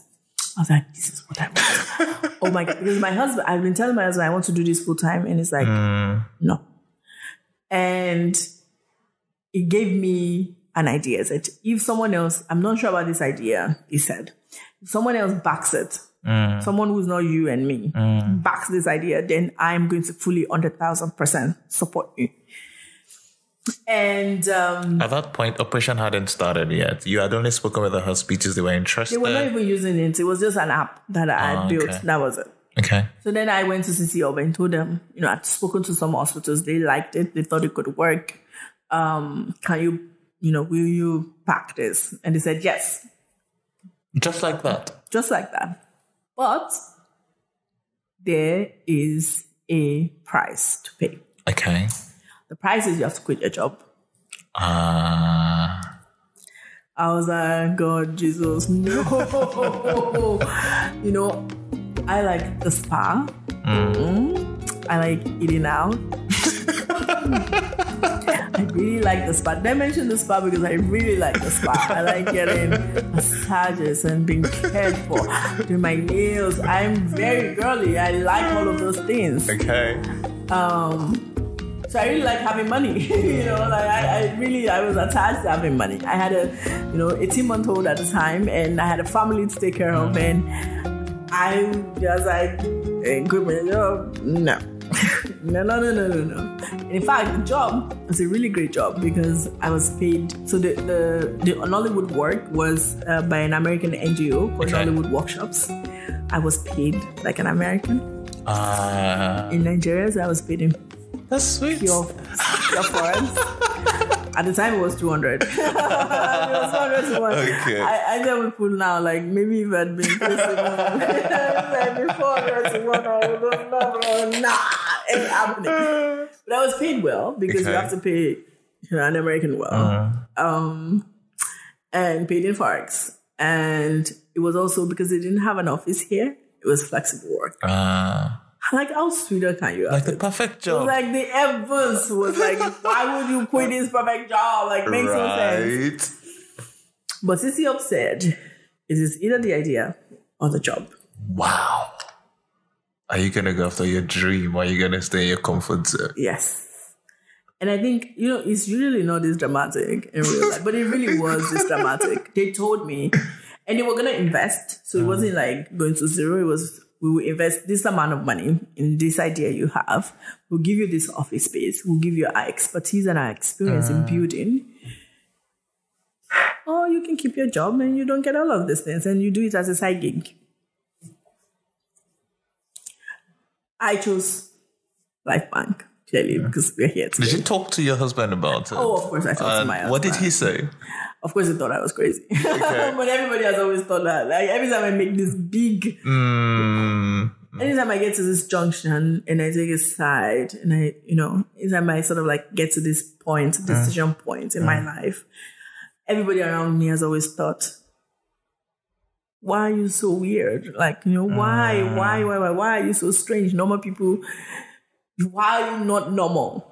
Um, and I think it felt like that. You know, anybody will feel like that. I mean, if you told me that, I'd be like, you're crazy. you know, like. so why did you choose LifeBank? Why? What helped with your decision making?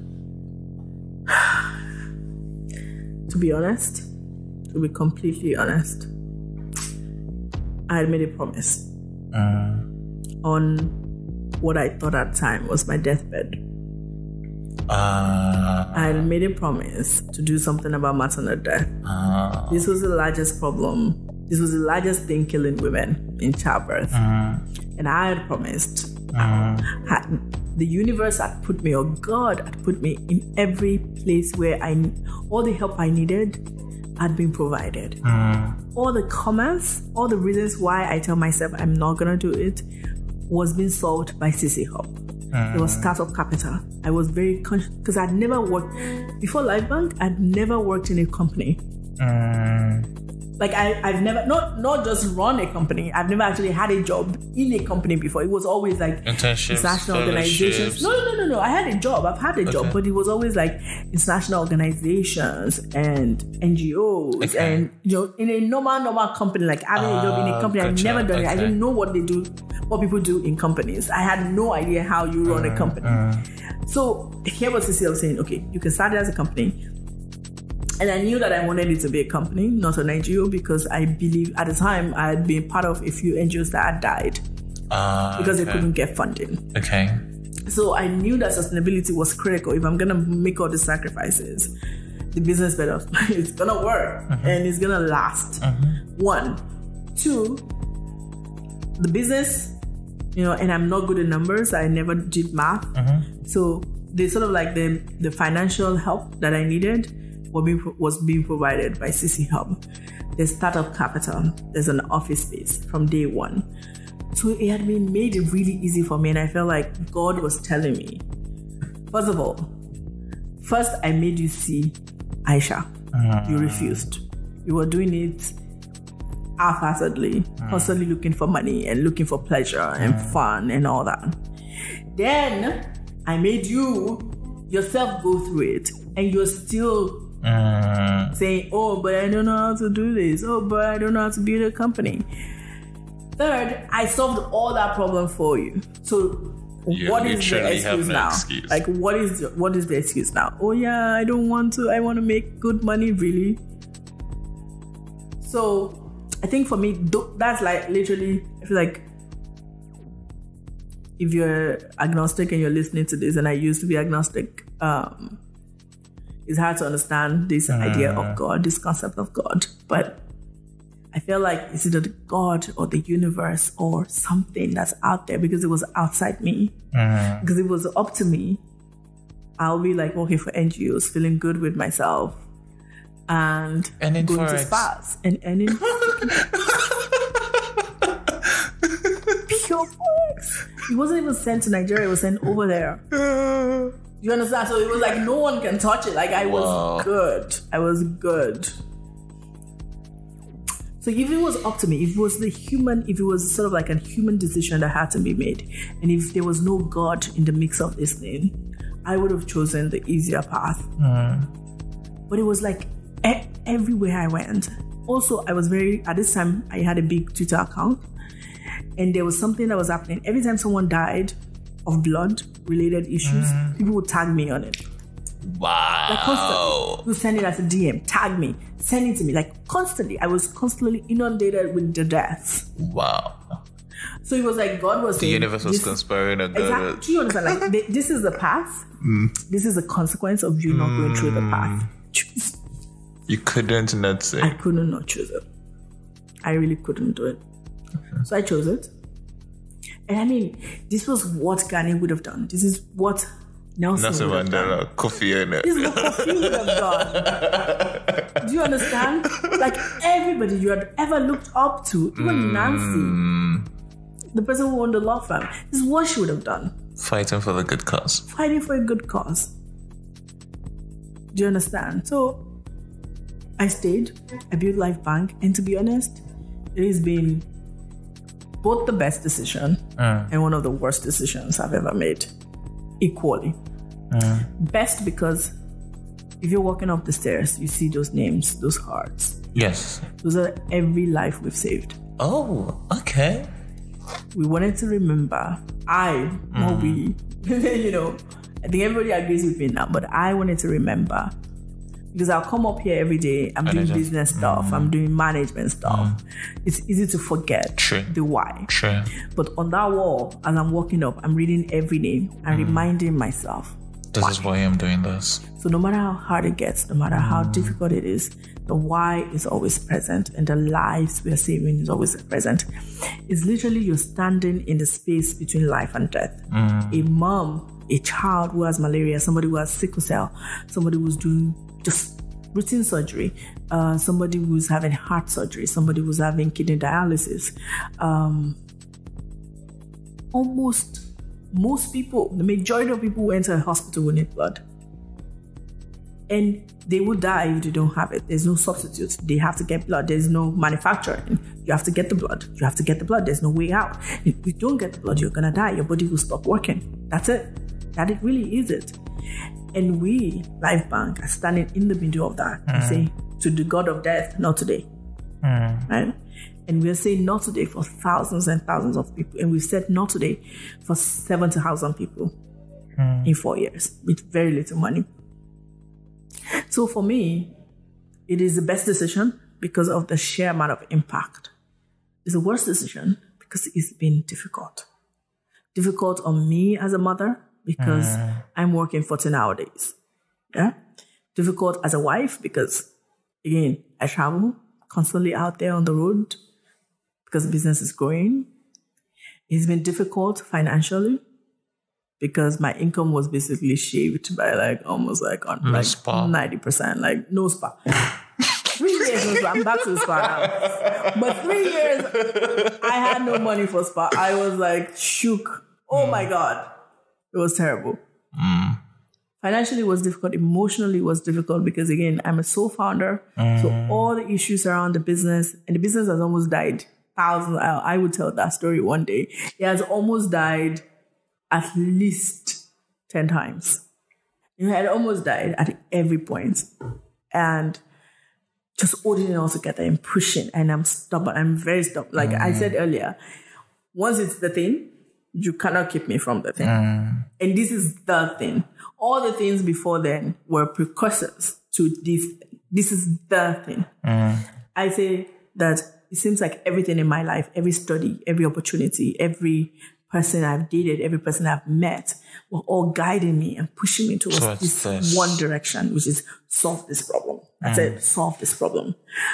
And once it's been solved, I'm gonna get a house in the middle of nowhere with a spa attached to it.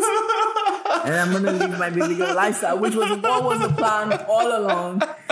Awesome baby girl lifestyle. So I'm really waiting for that. Um, but yeah, that's that's the story. Okay. So, um, you said yes to CCHub, and they gave Yes. you the space. They gave you The capital. capital In the experience. and experience. So, what did you do next? How exactly did you start? Oh, yes. So I remember stopping work temporarily in December 2015. That's a Nollywood work, or which? Yes, Nollywood Works. Okay. Workshops. Nollywood workshops. I stopped temporarily December 15. December 1, sorry. You couldn't tell them no permanently. No, exactly. I was begging my bed. So, how long did you ask for? One month. One month. Mm. Okay. So all of December, I the first person I had to convince was the developer because again, this was supposed to be a tech company. Okay. It's a platform we wanted to build. Mm. So I called the guy who built it. This was like I think a year ago. Okay. He had even forgotten. We were still we were still in the same co-working space. We still saw each other every day. Mm. So I called him, AY Alpha. He was working at it. no, no, we are not saying he had left the company he was working for at a co-working space. He had joined a bank. Okay. I was like, Are you gonna build this with me or what? It's like, no. How much are you paying? Oh, he laughed. Psych. Bye. And then I said, Do you know what's at stake? Like, oh, Temie, you started with your save the world nonsense. Mm-hmm. And finally, I convinced him. What did you tell him. him? I just said, I promise you, I'm gonna make this big. So it's not gonna be, it's not just impact, it's not just altruistic. I promise you that I'm gonna make this a big company. And you're gonna get shares from day one. Mm-hmm. And we're gonna build this together and we're gonna make it work. And I promise you that I'll give it everything to make it work. And he's like, okay, those are good odds. And he agreed to start working. It was part time, Okay. of course. He still it, he worked three days a week Okay. LifeBank and two days with another company Okay. uh, because the amount we had at that time couldn't even pay for his fueling. so, and that's how we built. By a year, he had become full time because he, he was at this point he had now okay. seen the impact, and he was How long did it take in. him to build it? Sorry, How long did it take him to build it? to build it, The- to build the platform itself. I think like they I built the first iter- Mm-hmm. iteration, so I think by January, by end of January 2016, so by end of December 2015, I knew this was it. And you called Nollywood Workshop back and told them. ended Bo- Nollywood workshop. So this was it. So by January 2015, 2016, I was full time. Was it just the platform that made you think this was it? No. Or had someone, so what other stuff happened? I don't know what it is, but it was like not thinking about anything else. Okay. But this for a month made me realize the sheer impact of it. Okay. And I said, this is what I want to do. okay. And I, I was fully, com- the conviction was not there. There was no more. And I now lived on very little for, for that month. Um, and I felt like I could do it. I mean, my skin was not trash yet. Ended up being trash. but my skin was still, my skin was, I, I wasn't really feeling it at the time. I kind of felt it, no spa, nothing, you know, I was just buying lunch. The money I had was to buy, just keep body and soul together and not be homeless. But, you know, that was it. Hmm. That was it. So you had the platform. Then what did you do next? Then we had to go to the hospitals. Okay. And I, a few people had joined us by the time. I think we were six at this time. okay. Um, Who are the key people you employed? So I employed, um, unfortunately, somebody that didn't work out. I think it lasted two weeks. We, no, two months. I employed, after AY, Okay. who was a developer, I employed a community person to do blood donor stuff because I thought that would be a big part of it. Then I employed a salesperson Okay. uh, who will go to the hospitals with me. Okay. Um, I, w- I knew that I was going to do direct sales. I never tried to do um, like, you know, digital sales. No, I knew it mm. was going to be direct. Hospitals in Nigeria, Nigeria is still back, backwards in terms of tech mm. adoption and hospitals are worse. Um, was it to, was it to get the meeting set up, or uh, were you Oh, no, we didn't set up. We just walked in. Oh, We just showed up. and like, no, it was, it was like that's, you know, I, I listened to a podcast before that says do things that don't scale. Mm. I basically had to do things that didn't scale. And the mm. way that I could do that was basically show up at the hospitals. Just wake up in the morning with the sales team and show up in hospitals and tell them use LifeBank. And were you allowed entrance, or you were told Oh, to well, sometimes we will stay the whole day and no one will answer us. Mm. Sometimes within 20 minutes, we already got an, like, got, you know, entrance into the CEO's office. So it was a mixed bag. Mm-hmm. Uh, the first break was the first blood bank that agreed to use LifeBank. So not even the hospital, Not the the blood bank. Because, you know, when you're building a marketplace that's dual, mm-hmm. supply first, I think, is the most important. Not mm. demand first, supply first. Okay. Because if supply is present in a particular platform, mm. demand will come find it.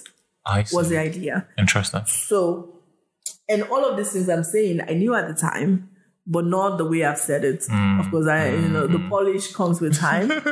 Um, so in January you have a platform. When did the first blood bank come? the first blood bank came by April. April. Hmm. So three months, thereabout, three, four months. Okay. but we weren't fully focused. We were still so January we had a good platform. By January, we also knew that we weren't gonna be just a tech platform. Okay. That delivery, delivery was ah, important. Okay. Okay. Uh, so even from from February to all the way to end of April, we were also waiting for creating our distribution platform. Okay. Uh, so we had to get bike, you know, we had to get uh, the blood boxes. How did you ideate around that and decide that it was going to be? So literally, we were supposed to be a a um a tech platform, just a discovery platform, and then I think it was one of my team members and I went to a hospital uh, to basically tell them about our platform that we built. And I remember the hospital said, "Oh yeah, that's good, but how do we get the blood?" ah, okay. I mean, it's good to find out where the blood is. So is it gonna, you know, it's not gonna magically appear in the hospital? Like, what- Okay. like, go, do you work with a delivery network, etc. I was like, okay, okay, we'll go find a delivery network. Okay. Because everybody, nobody was doing on demand. At the time, they were all doing scheduled. On demand means as soon as the order comes, it has They're to be picked up and delivered immediately. So, and they couldn't offer that. So we knew we were going to do delivery ourselves. So we spoke to a few other people, um, and the only path forward was self delivery. Ah, okay. So then we had to build the infrastructure. I remember just saying, okay, I'll just put it in a cooler, chuck it in an Okada and go. Was Bosun Tijani, the, the, the CEO of uh, CCHub, that actually was like, no, Temie, quality. You hmm. want to be known for quality. Hmm. And immediately I got it. Yes, I want to be known for quality. Hmm. And I remember the way I could understand it is you have this little boy. Whatever you cannot use for him, no one else in Nigeria should have to use it. We are all human beings, we are all God's children. And I also thought that my son in Nigeria deserves the exact same things that my nephews in the US had. Um, and of course, it wasn't his fault that his mom is and brought him brought him to Nigeria. Um, but yeah, so I decided, okay, quality. Okay. We're gonna do state of the art quality, American standard, you know, European standard quality. So we didn't really invested in cold chain. You know, we got a blood box, Okay. we got a Bluetooth padlock, you know, we got temperature strips, just to match the quality that you get. How did you find them? Hmm? How did you find them? Google. Okay. I googled everything, and I spoke to some of my. Uh, so I'd made some friends in East Africa when I was working in Uganda. Uganda, I remember okay. calling one of them and say, "What do you know about cold chain for blood?" Okay. Said he knew a lot about cold chain for vaccines, but he could, you know, help me do some research, and he sent me to go do the research. Okay. Gave me some keywords. There was a big WHO document that was almost like 150 pages. Mm-hmm. I remember printing it out. Sorry, green energy people. sorry, the green people. I'm very sorry. I remember going to a printing shop and printing up and binding in those Okay. blue binders and then reading it. Okay. It was in there that I found all the things that I needed. Uh, okay. Uh, so I called. I remember so many people refused. Actually, the, the thing we use now were always not the first choices. Okay. Not because of quality, but because prices, Okay. pricing, and etc. What we then, because they wouldn't want to ship anything to Nigeria. As soon as they heard that we were Nigerians, Why? I'm not sure. I'm not sure why people didn't. I think then was in the thro- the world was in the throes of anti-Nigeria and the, Ah. the fraud, etc. So they always thought that I was like, I'm gonna send you money. Like, no, we don't work with Nigeria. Wow. I remember one person who we actually end up using now. I'm not gonna say who it is. Made me send my American passport data page to him Wow. before he would do business with me. Because I was like, eh, in fact, one person stopped responding to us. And then when we started getting press, about a Um, year ago, he sends me a message. Of course, I'm petty. I do good, but I got some petty emails like, sorry, you're using your competitor now. You ignored my mail for three years because you thought I was in Nigeria. So now we want, oh, I saw, oh, oh, you, I saw you in Newsweek. I saw you in BBC. No, I want to do business. in No, sir. No, sir. Um, but yeah, people wouldn't do business with us. Okay. Um, in fact, one one of the products I had to ship it to was Boson. I had to use someone else's account and ship it down to Boson. Oh. I think, in London Okay. for it to now be brought back To Nigeria. to Nigeria. So it was like a convoluted, and thankfully, again, organizing is my is what I like doing. So I was like, oh yes, give it to me. I'm gonna get it. And we had to go like it was like almost convoluted, like mapping how to get these products into the country. One time, some of our product was stuck in uh, customs, so we got it was a big blood boxes. Got it in, was stuck in customs because they were quoting the most ridiculous duty. Um, because usually health products don't carry much less duty. So we said this is a health product. They said, oh, it's made with plastic. It carries sixty percent duty. No, it does not. oh. Wow. Anyways, so we had to like basically push, and finally we got it. We got it in um, late April. So everything was Okay. now in Same as when you got the blood bank as well. April. no, no, no. We got the blood bag before April. Okay. Yeah, it was before April. Okay. Our first, we fir- our first order was in May, Okay. May 2016. Um, but we had gotten the blood bank that listed their products. Okay. But there was like about I can't remember actually when we got the blood bank. Okay. But I know it was before we were ready The to actually move okay. because we now had to wait for demand, Uh, the hospital. the hospitals. Okay. So we got the blood bank, and I remember my colleague who was dealing with blood banks at the time. I remember her saying that one day she went to a blood bank. This was this blood bank was in um, Mushin. Okay. No, no, no, Isolo. Sorry, it's not Okay. It's all up. And she walked into the blood bank, and the guy was like, "You know, we're already working with something like this.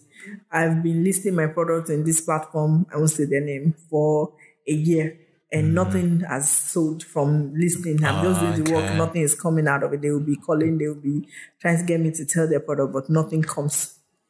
And he said, I don't want to do another one. You are you guys are all scams. Wow. And I was like, okay, that's weird. And then I said, he, she said to her, to him, if you don't join this platform, you'll regret it. I don't know why she said that. I don't know where it came from, but she said like, this is going to be the thing. If you don't join now, you're going to regret it. And he's still, you know, we're still part of. We still work with him. Ah, okay. Um, and he said, okay, I'll give you some. So he listed some on the platform. Now it was very prominent. So she would then go to other blood banks and say, oh, did you know this person has joined? Ah, Don't okay. left out. So that person, they, then they all started coming. Interesting. Then they all started, and that was how we got like about 15. Ah, interesting. Before we even launched, we already got 15 blood banks. Okay. And it was the first quasi threat that says, if you don't join this, this is going to be big. If you don't join now, you're going to regret it. And then he joined, and, that got all the the people around him who knew him to join. Not because they were like, oh, he's showing leadership, but because they're like, ah, If- if, money is to be made, I want to be there too. Mm, okay. So that was how we got the first. Then hospitals came in. So we had actually signed up hospitals throughout waiting for this cold chain, Okay. but we we hadn't gotten our first order. So Okay. by end of April, we were ready. Okay. We had our bike set up. We have the cold chain equipment. Everything was ready.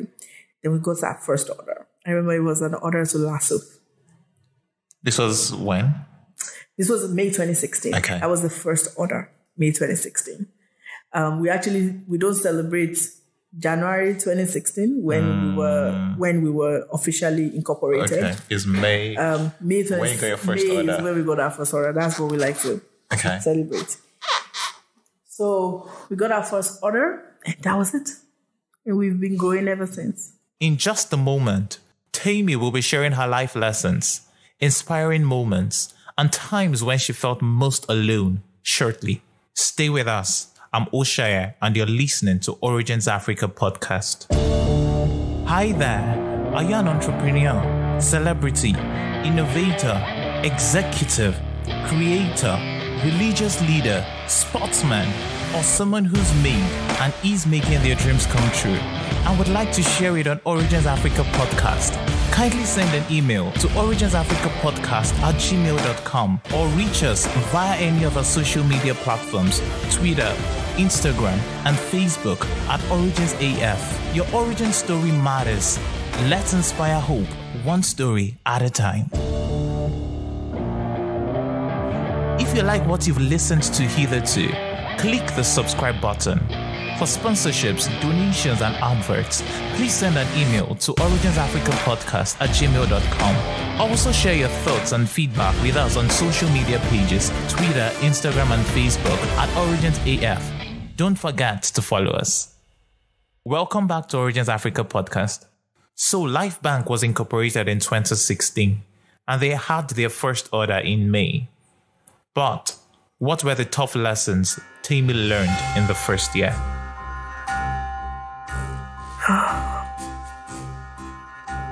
I think that I underestimated how much of my emotional intelligence will be needed.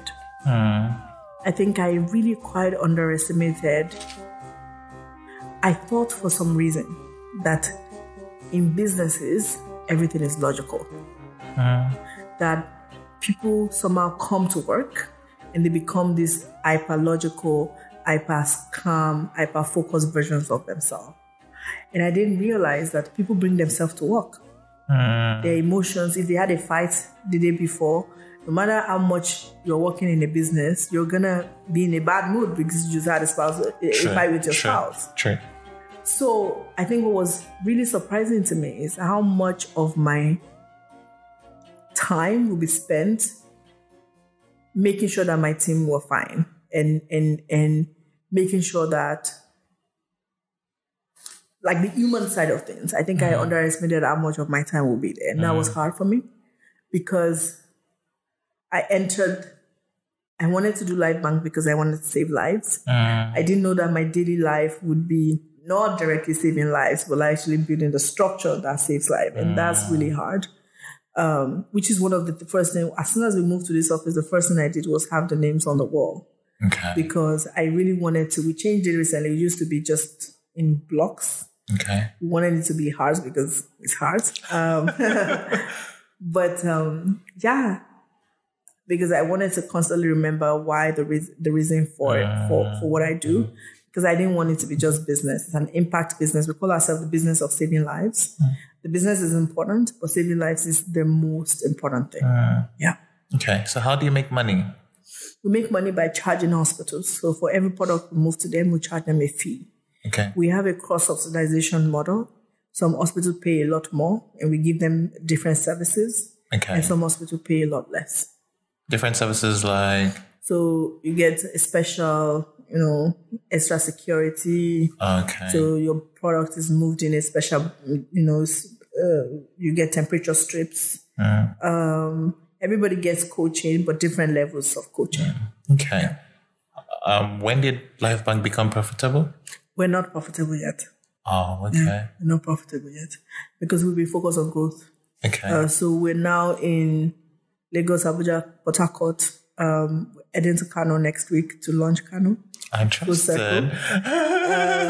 My team are actually there now. Our head of operations and the person who runs Abuja Okay. um, is now in Kano. That's great. Uh, so we're gonna do. We're gonna be in four cities before the end of Q1. Um, we're also working on uh, Nairobi and Addis Ababa. My. Yeah, last year we launched in Addis Ababa, but we only launched our our drone project in Yeah, Addis. I, I, I read that. I Yeah. read that. So now we're working on full operations in Addis. Okay. After this call, I have a lot of work to do on that. How difficult or challenging is or has the expansion to other cities and countries Oh, been, been from hard. Lagos when you're setting it up? yes, you know when you are setting something up, so it's actually very similar Okay. because it's fresh everywhere you go. Um, setting up within Nigeria is now easy. I think we can do that within like a week. Okay. You know, we can because now we know exactly how to do it. We know Nigeria very well. But setting up outside Nigeria has been a bit complex, uh, and that's taken a chunk of my time. Um, and that's been a bit harder. Like it just reminds me of when we were starting from afresh, anyways. Um, because it's now you now have to do a lot of troubleshooting. It's not there are no systems we've built for understand the peculiarities of those markets. Here now we understand the peculiarities of those of every of every area in Nigeria, and we've been able to respond to that. So anytime we're moving, so let's say we're moving from um, Lagos to Ibadan, it's very similar culture, very similar working culture. So then you already have some sort of like background, some sort of mental muscle Okay. to deal with those issues that will pop up, and you already have a system in place. Uh, but you know, East Africa is a completely new, new, new play. Uh, but we think we're up to it and are doing the thing. Most so definitely. you'll be hearing some news about our expansion plans. That's great. yeah. Um. So how long you had the initial capital from CCHub? How long did that take you until before you had Mm. Oh, very short. investment? because I made I, I made the mistakes that most people made make when they're starting new. I bought things I didn't need. And then they ah. had to be put in storage. Things, So ah. I bought too much of one of the product we needed for cold chain. So that took a chunk of our capital. Okay. Um, I then had to raise a bridge round. Then we finished the bridge round, and I had to raise a seed round, which we did in 2018 January. Um, Was getting investment easy? Mm, I don't think it's easy, but I don't think it's hard either. Okay. I think it's not hard if you're going. Okay. If you're already do, like we're three xing every year, so it's not. But it's hard because we're healthcare. People don't trust it. There's a lot of risk, so you have to explain it over and over again, um, and you have to be selective. So I think one of the things I do is I don't I don't talk to tons of investors. Okay. I basically pre-select the person I want to work with. What do you look out for? Patience. Okay. patience is the only thing I care about. Um, and if you look at our cap table, you'll be shocked because there are some people on that table who you think are not patient at all, but I've actually turned out to be the most patient. Um, and I think I want someone who also understands the dual bottom line. that at some point I'm going to make decisions that are best for the patient and not necessarily best for returns.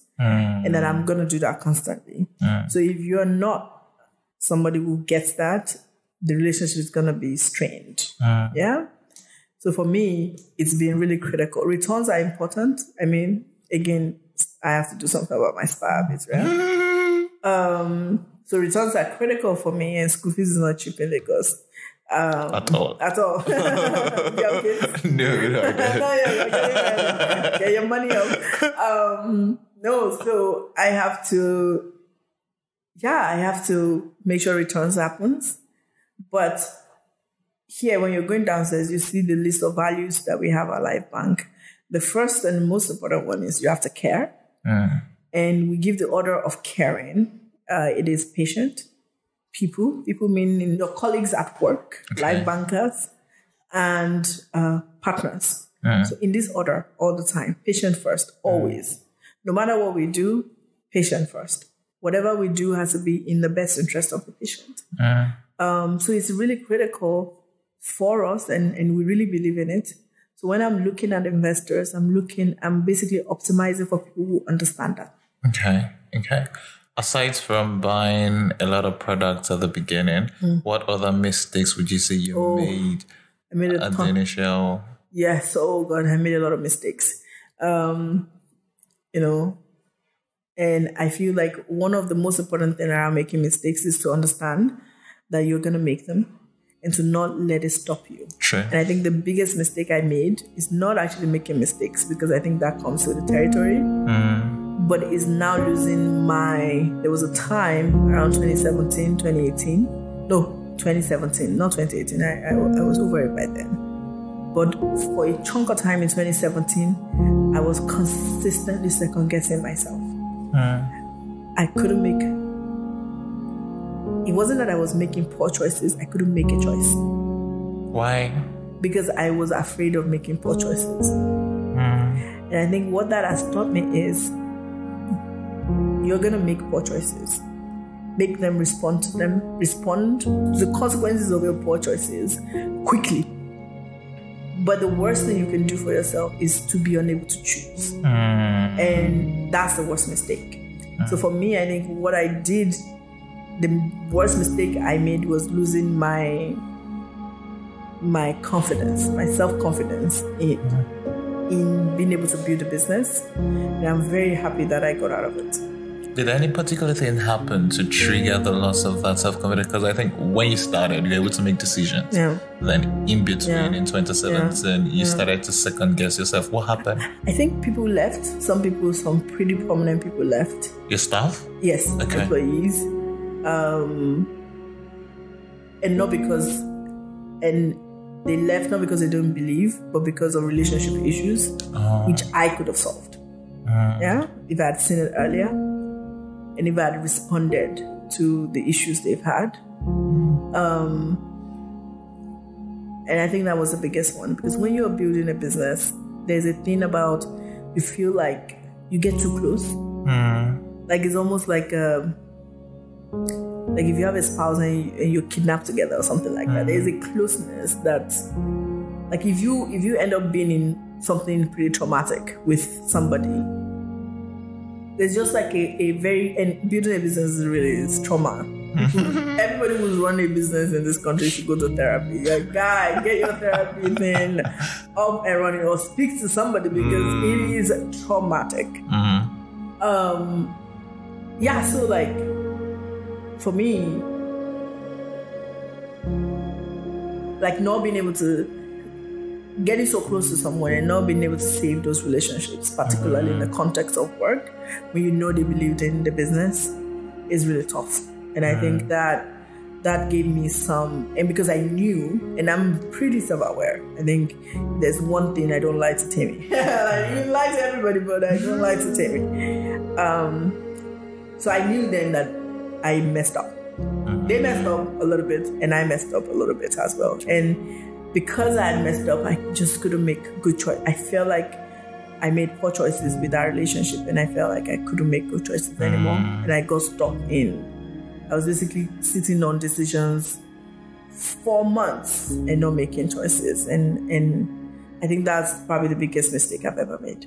Mm. Okay. And founders should watch out for it. Hmm. Because you think you're being careful. You're not being careful. You're, you're delaying. And you're not able to make. It's like having PTSD Hmm. from founding. Interesting. Interesting. So last year, Mm. you won the Jack Ma African Netpreneur Prize. Yes, yes, yes. Congratulations. Thank you. Thank you. How did that feel? Oh, I worked for it. Hmm. And I think it just basically reinforced everything I knew about myself. And I think it was one of those moments where you know, okay, this is me. I'm formed mm. now. I've always believed in working hard, and I worked hard. That pitch I knew offhand. I didn't need to look at anything, I didn't need to check. And the only way to know it offhand is have practiced a thousand times. And I practiced Wow. a thousand times. My assistant who traveled with me was amazing, would say, basically enter my, she would come to my room around like 6 a.m. Tell me wake up. It was like a drill. Take it again. Wow. I'll present it again. And again. Again, I'll do it. And again, I'll do it. I'll again, I'll do it. Because I basically gave up. It was one week where we were in Accra. And again, and I'll do it again. Over and over. People would go like the rest of they kind of thought I was I mean, one, I'm introverted. I don't really like I just like spas. Like, you know. like, that's what I like doing. I'm reading books. So really and tuning fire tweets. Um, so those are my thing. And uh, so it doesn't really include anybody. So I'm myself like a loner person. Um, and so they will all go out in the evening when we're done with, we had to do a lot of pre-function, a lot of pre-taping. So they'll go out, they'll hang out. And they're all amazing people, fantastic leaders who I all respect. But for me, the business needed, you know, The we money. needed this, we needed money, we needed the experience, we needed, I wanted to speak to Jack and mm. ask him questions. You know, I was, I needed, I needed to be on that stage. And I remember before, I told everybody to call me Temie 250. like, Oh, wow. Everybody that's like, do not call me Temie. do not call me Temie, you know, because they, they shared the money. So it's a 250 or 65 or 150 or 100. I was like, mm, just cuckoo call me Temie. Temie 250. There was a time where we had to do mock, um, mock uh, pictures Okay. like just to know your space. And they handed me the the hundred. I think it was a hundred that they said handed. I was like, no, uh-uh. I went to take. They are not giving it. I was like, I was like, I don't want this one. Give it. So I have pictures of myself with the check Ah. way before the final day. Because I was like, I I was You could I was okay. smell the price. I was okay with not winning, but I knew that if I didn't win, it would not because of it would not be because of me. You didn't give it your best. I needed to live with losing. Mm. And the way that I live with losing is if I know that I tried everything that I could have Uh. and I lose, okay, it, it will it will stink, but at least it sounds like cliche, but it's really true. If you do everything you were supposed to do, you will have no regrets. True, true, true, true. I, So I really practiced one a thousand times, and my ass- she's really amazing. Aisha is really amazing. But she's more like like the boss. It's like again, I'll do it. Again, I'll do it. Again, I'll do it. Again. Over and over again, over and over and over again. I practiced, and um, you yeah, won. it was really good. What's the most important thing winning did for you? I think the most important thing, I mean, apart from being famous now and meeting Jack Ma,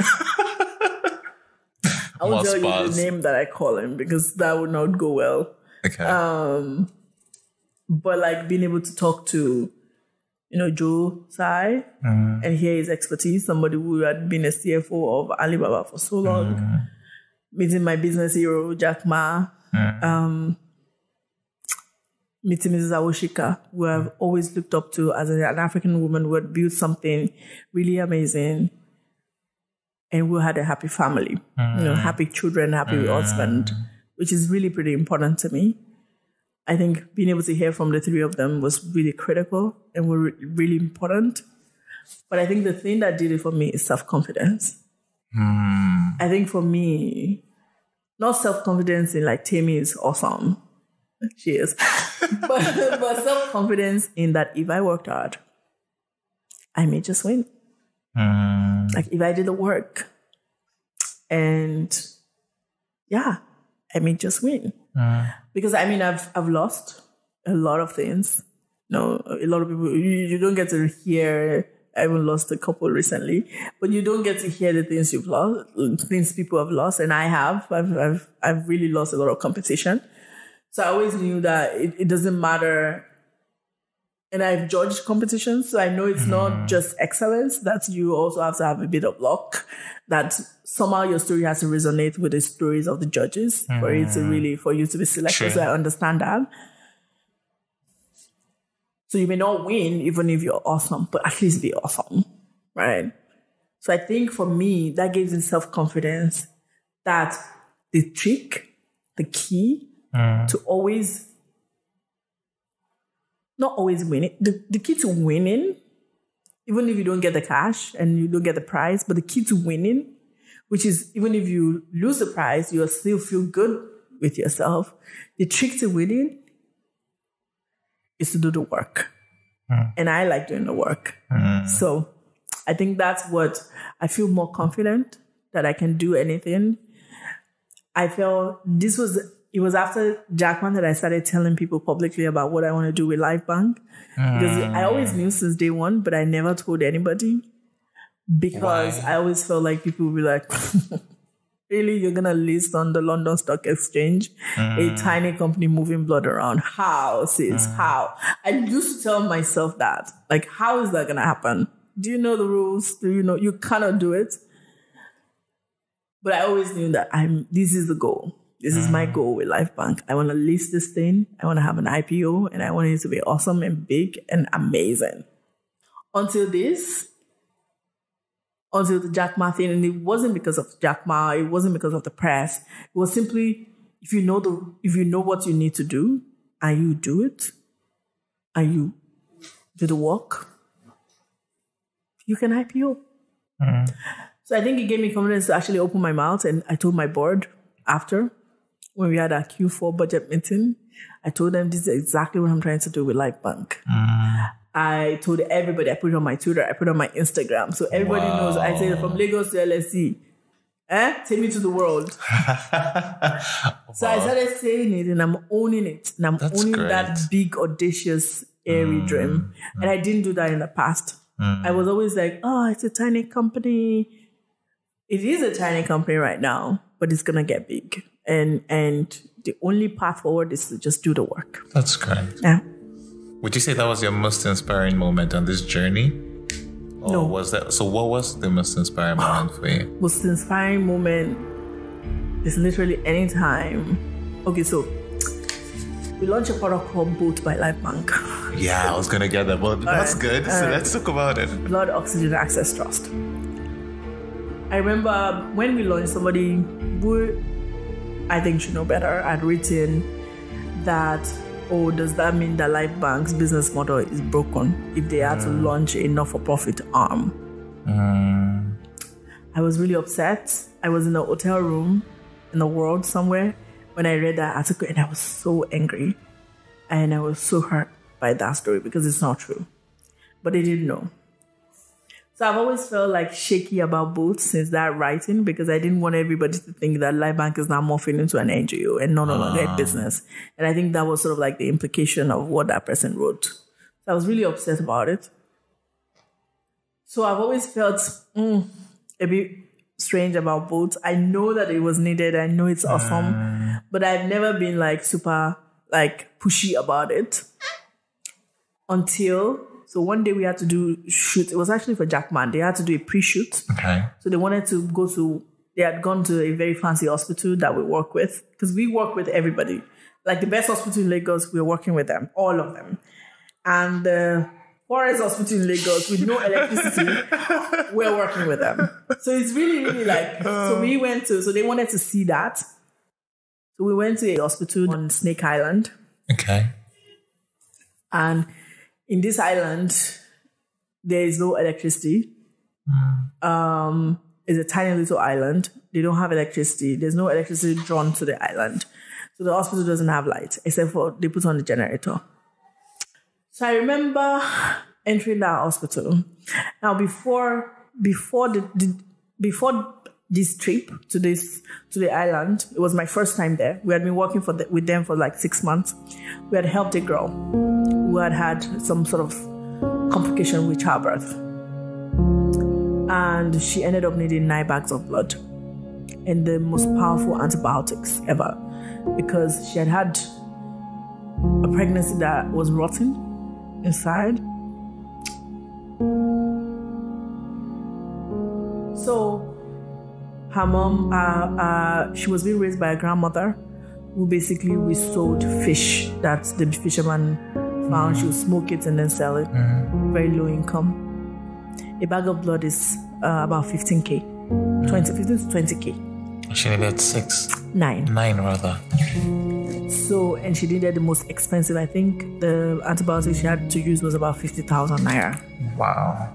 So, without Boat by LifeBank, she was gonna die. That's it. Uh-huh. Because the doctor even says that usually what he would have done is if she realizes he can give his own services for free, but he's not gonna go and steal blood to give these patients. So he normally gives his services for free to these destitute patients. But once he realizes there's no cost, there's no funding to buy the necessary things he needs, he packs them up, makes them comfortable, gives them painkiller, sends them out to die. Wow. And that this is what he does all the time. And before this moment, there was no one helping him. And we were the only one. Boat. I'd never met this girl. They had told me about our story. The person who runs the boats in LifeBank had told me. I'd approved all the budgets to pick out, but I never met her. So she was not real in my head. She was a story. Mm. I don't know why the doctor did it, but he had her and her grandmother waiting for me Oh. in the hospital. It was the first time I don't, because of the nature of what we do, we don't get to see patients. You just drop off the blood and leave. So, although we know their names, we don't get to meet them. But he had the patient waiting for me in the hospital. This was a great grandma. Like, this was, I mean, a grandma, she was like old, old, old. And if you're Yoruba, you know, like, when I entered, she just knelt Wow. the grandma. She knelt and she was crying and she just stood there looking at me and was just kneeling down. And as I said, when you're Yoruba, you have an old lady kneeling Kneeling in front, of, you. you. It was the best moment of my life. Wow. And Jack Ma, you know, on the stage. It's nice. Uh-huh. Um, traveling all over the world. It's nice speaking. I got to go to Davos last this year. That's nice. Nothing, nothing comes close to that moment in the middle of nowhere in Lagos, standing there in front of this 70 year old lady kneeling in front of you hmm. because I had an idea and I hmm. didn't I didn't let fear stop me. I didn't let the poor opinion of other people kill the project. And um, I did it, and a child survived. I think she was about 19 years old. Wow. Mm, She survived, and she's alive today because because of Boat, because of LifeBank, because of this amazing company that we've built. So I think if there's a moment, my proudest moment is that moment. That mama. Not Jack Ma, not not any of that. I, I mean, I love it. Who doesn't love it? it's really cool. Um, but it's those moments that matter. Now, do you talk about boots? I said, oh my god, Boat by LifeBank, both buy life bank, both buy life bank. It's saving lives, guys. Yeah. Okay. yeah. When have you felt most alone in this journey? I mentioned we've run, run out of money. We've almost run, well, we actually have run, run out of money. And one day was a day, and it, alone is hard because I have my husband who's an incredibly supportive partner, um, and I have my amazing team. We're always there. You know, I get a lot of like. Sometimes they say, "Don't tell your team what." Uh, some companies, some CEOs like to hide things from their team. As soon as there's a problem, I call all of them. This is the problem we have oh, because you know I don't hide. They know everything that's happening with this company. So it's really, I, I really feel alone. Uh. It's hard, it's difficult to be the leader because a lot of people look up to me.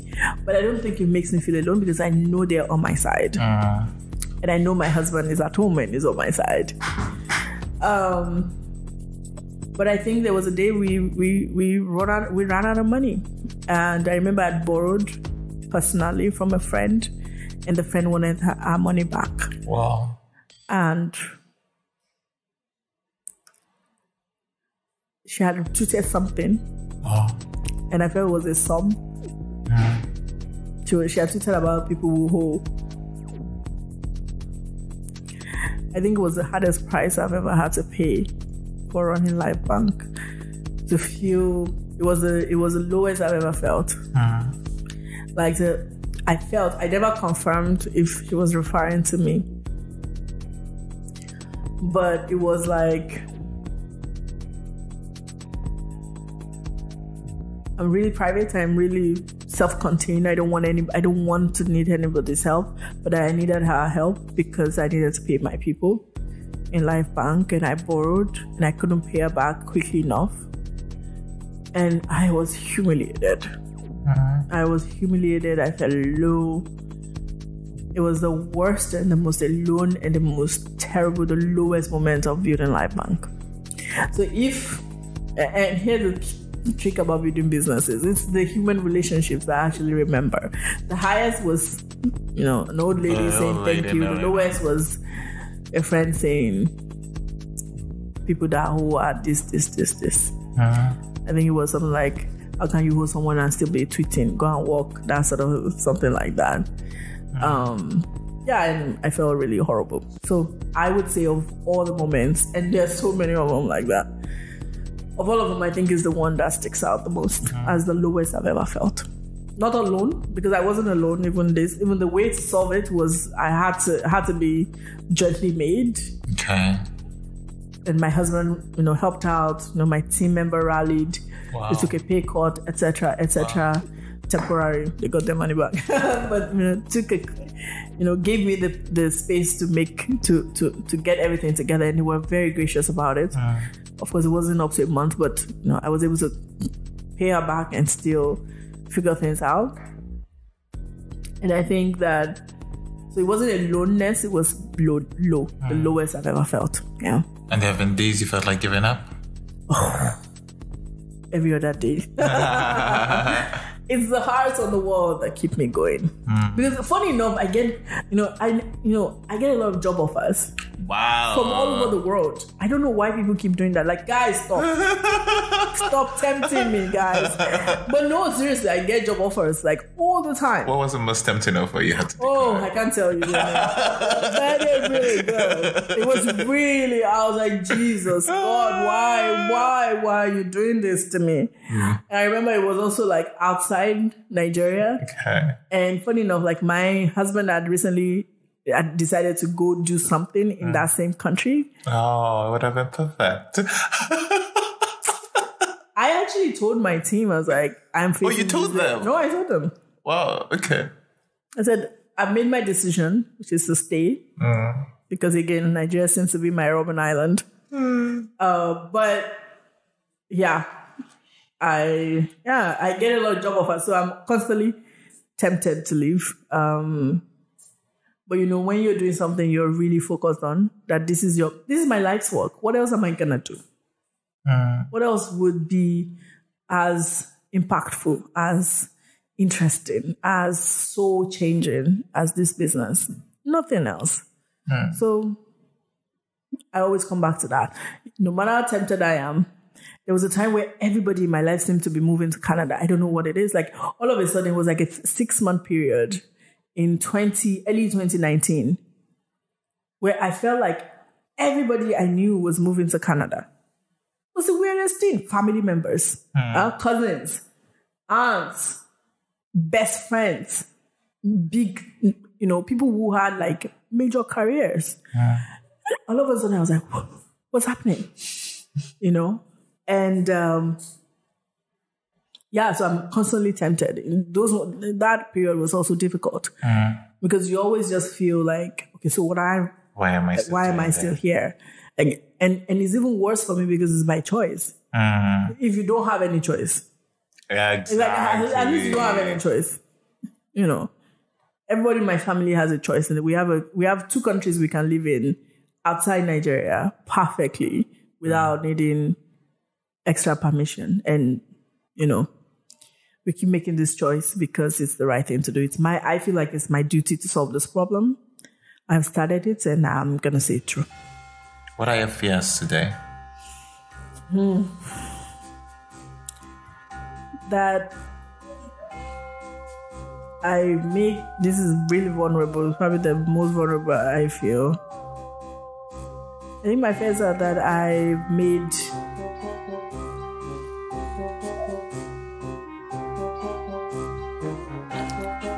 I've made a choice that's good for the world but bad for my son.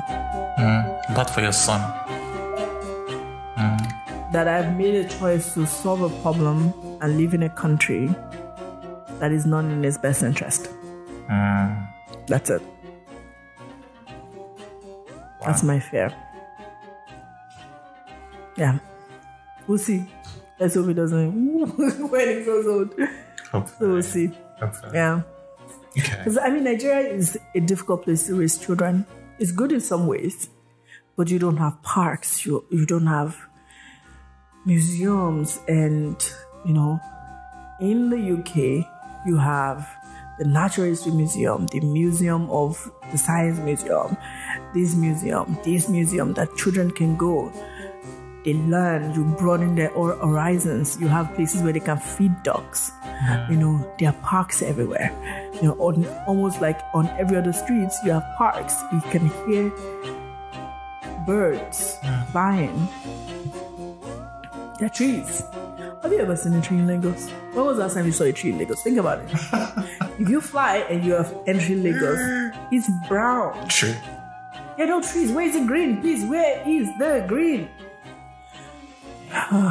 so anyway, that's those are the things. It's not those are the things that most concern. I love the education system here.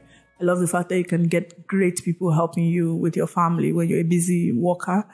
Um, when you're like a CEO of a company. So I think what, what really bothers me is is the fact that public public life, public amenities are very are very so much missing Mm. in this our country. And yeah, that's hard. Okay. Mm. So today you've been able to save over 7,000 lives Yes. and move over 20,000 products. Yes. Do you feel fulfilled? No. I will only feel fulfilled when no woman bleeds to death mm. while she's having a baby. So it's still a long way to go. What personal habits do you have that you would say have been instrumental? Focus. And great. Great. and focus. I'm able to ignore everything else but the thing in front of me, the company in front of me, the family in front of me. If I get home, I'm a mom, I'm not a CEO. And it's completely, LifeBank is dead. To me, as soon as I'm in my house, I'm just a mother. And as soon as I enter this company, my kids are gone. I'm a CEO. So it's that focus, being able to ignore external things uh, that I think d- is very good for me and great. Mm. I have a capacity for suffering that most people don't have, particularly having to lose spa dates. So when you You look should back, title this interview "The Spa."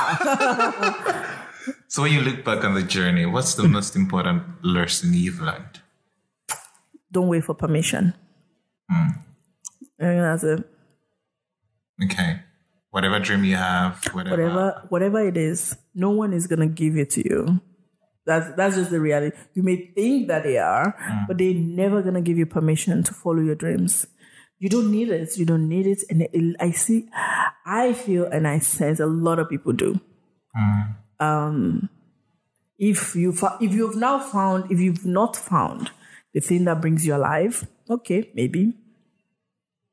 If you found it, never let anybody take it from you. Even if you're scared, even if you have doubts. Even if they threaten, even if they leave, being alive and not alive as in you're breathing. Being alive. I don't know how else to say, it, but being alive is worth all of it. So don't stop. If you found something that brings you alive, do it. Okay. Um, how do you unwind? I, I read you books. mentioned you like to work a lot. And Please don't mention spas. books. Okay, spa as well. Spas and okay. books. I, know- I know people say books all the time, but honestly, the first thing I download on a new phone is Kindle. Uh, I'm a reader, lifelong reader. I'm not a writer. I don't. I've never wanted to be a writer. Some people want to be. I'm a reader. I was meant to read, okay. so I read and I go to spas. Would you um, ascribe your success to your hard work and skills or to luck? A little bit of both, Okay. both equally. I'm lucky to. I've told you about the breaks. Yeah, the privileges. yeah i'm lucky to have had my mom win the lot the lottery literally she won the lottery um if she had not won maybe I would still be here i mean the next 20 years i'll get here but it accelerated my growth so that's a lucky break i'm lucky that i am focused i didn't do anything to to have that personality trait I'm lucky that I like to organize and I like to work. Some people don't have that. That's luck. I didn't do anything to get it. Um, so anything that I have that I don't work for, I feel like it's a lucky break. A- And there are tons of it. I'm lucky that I have a healthy child. If you had been sick, I wouldn't have been able to come back. True. Hmm? True. I'm lucky I have a good marriage that makes me feel like I can fly. Well, actually, that one is not luck because I chose him. I made a choice there. That- that's all me. Hey. Um, no, but uh, yeah, like I feel like I'm lucky in so many parts of my life. So I hear more luck than hard work or. Oh yeah, but I work 14 hour days, and you need both. Okay. Even if I'm, I mean, there are many people who have all the things that I've just mentioned to you, and they're not where I am. Do you understand? Yes, there are many people who are luckier. I mean, but like rich people have kids, and a lot of times they don't make much of their life. Okay. So I think it's both What should we look forward to from LifeBank in the next few months? growth, growth, growth, growth, Growth, growth, growth, growth. growth, and the LSE, And what?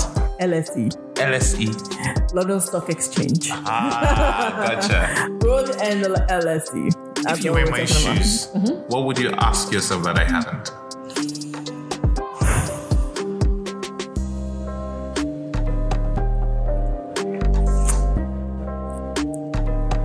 Nothing. that means you're a great interviewer.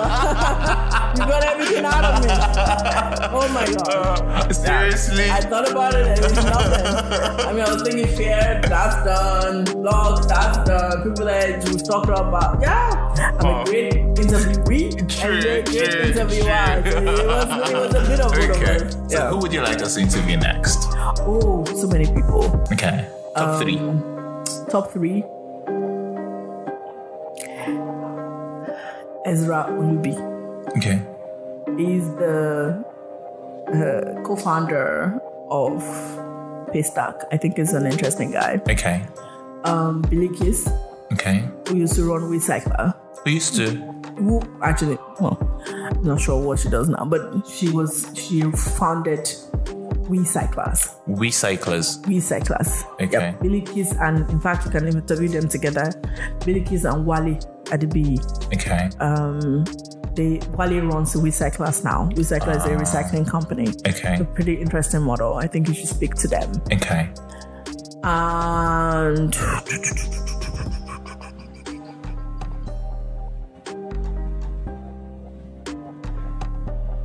I was gonna say Kola Tubosun, but I was, Yes, gonna say. I was gonna say Kola Tubosun, but Okay. I feel like that sounds like So why that person? I think he's led a very interesting life. Okay. I think, yeah, I think his life has. I mean, I've been part of it for, for six years, eight years. No, no, no, ten years. We've been together for ten years. Um, but I think he's an interesting man. Yeah, Okay. I think he's really different. Um, I think that he's doing really interesting things with language. Um, he calls himself the, the defender of African languages. Um, so I think he's done a lot of different things there. Um, I think he's turned a Dodd degree, a supposedly Dodd degree, to an amazing lucrative career. So he studied linguistics. You Okay. know, how many famous linguistics do you know? Exactly. True. True. Except for that one, um, Chomsky is the one. no, I'm Chomsky. Okay. Um, but yeah, like I think he's led a really pretty interesting life, and, Okay. and I think it could be really interesting to listen to to him. I think your audience will learn a lot from him. That was Temie Giwa-Tubosun. She's the CEO and founder of LifeBank. Thanks so much for listening to our show this week. You can subscribe at wherever you get your podcast, Google Podcast, Apple Podcast, amongst others. And whilst you're there, please do give us a review. You can also write to us at originsafricapodcast at gmail.com. And if you want to send a tweet, it's at originsaf. We would love to hear from you about how we're doing and where you'd like us to improve. Join us next time as we have a chat with Teniola Sagoe, co founder and creative director at Clan, creative director at House of Deola. you think that you've done so well. Like you tell yourself, wow, amazing. This is me. I've done New York Fashion Week. So that's me and my sisters. And you come back home and instead of people here to be like, ah, well done, people are actually trying to, you know, change the, the scene, trying to put Lagos on the map. We're hearing, what nonsense is this? My tailor can sew this. Who do they think they are? Is it because they're Deola Sagoe's daughters? And it's Our show was produced this week by Tomishi Ajani, whilst the theme song was composed by Just Rotimi. I'm Oshaya, and you've been listening to Origins Africa podcast. Bye for now.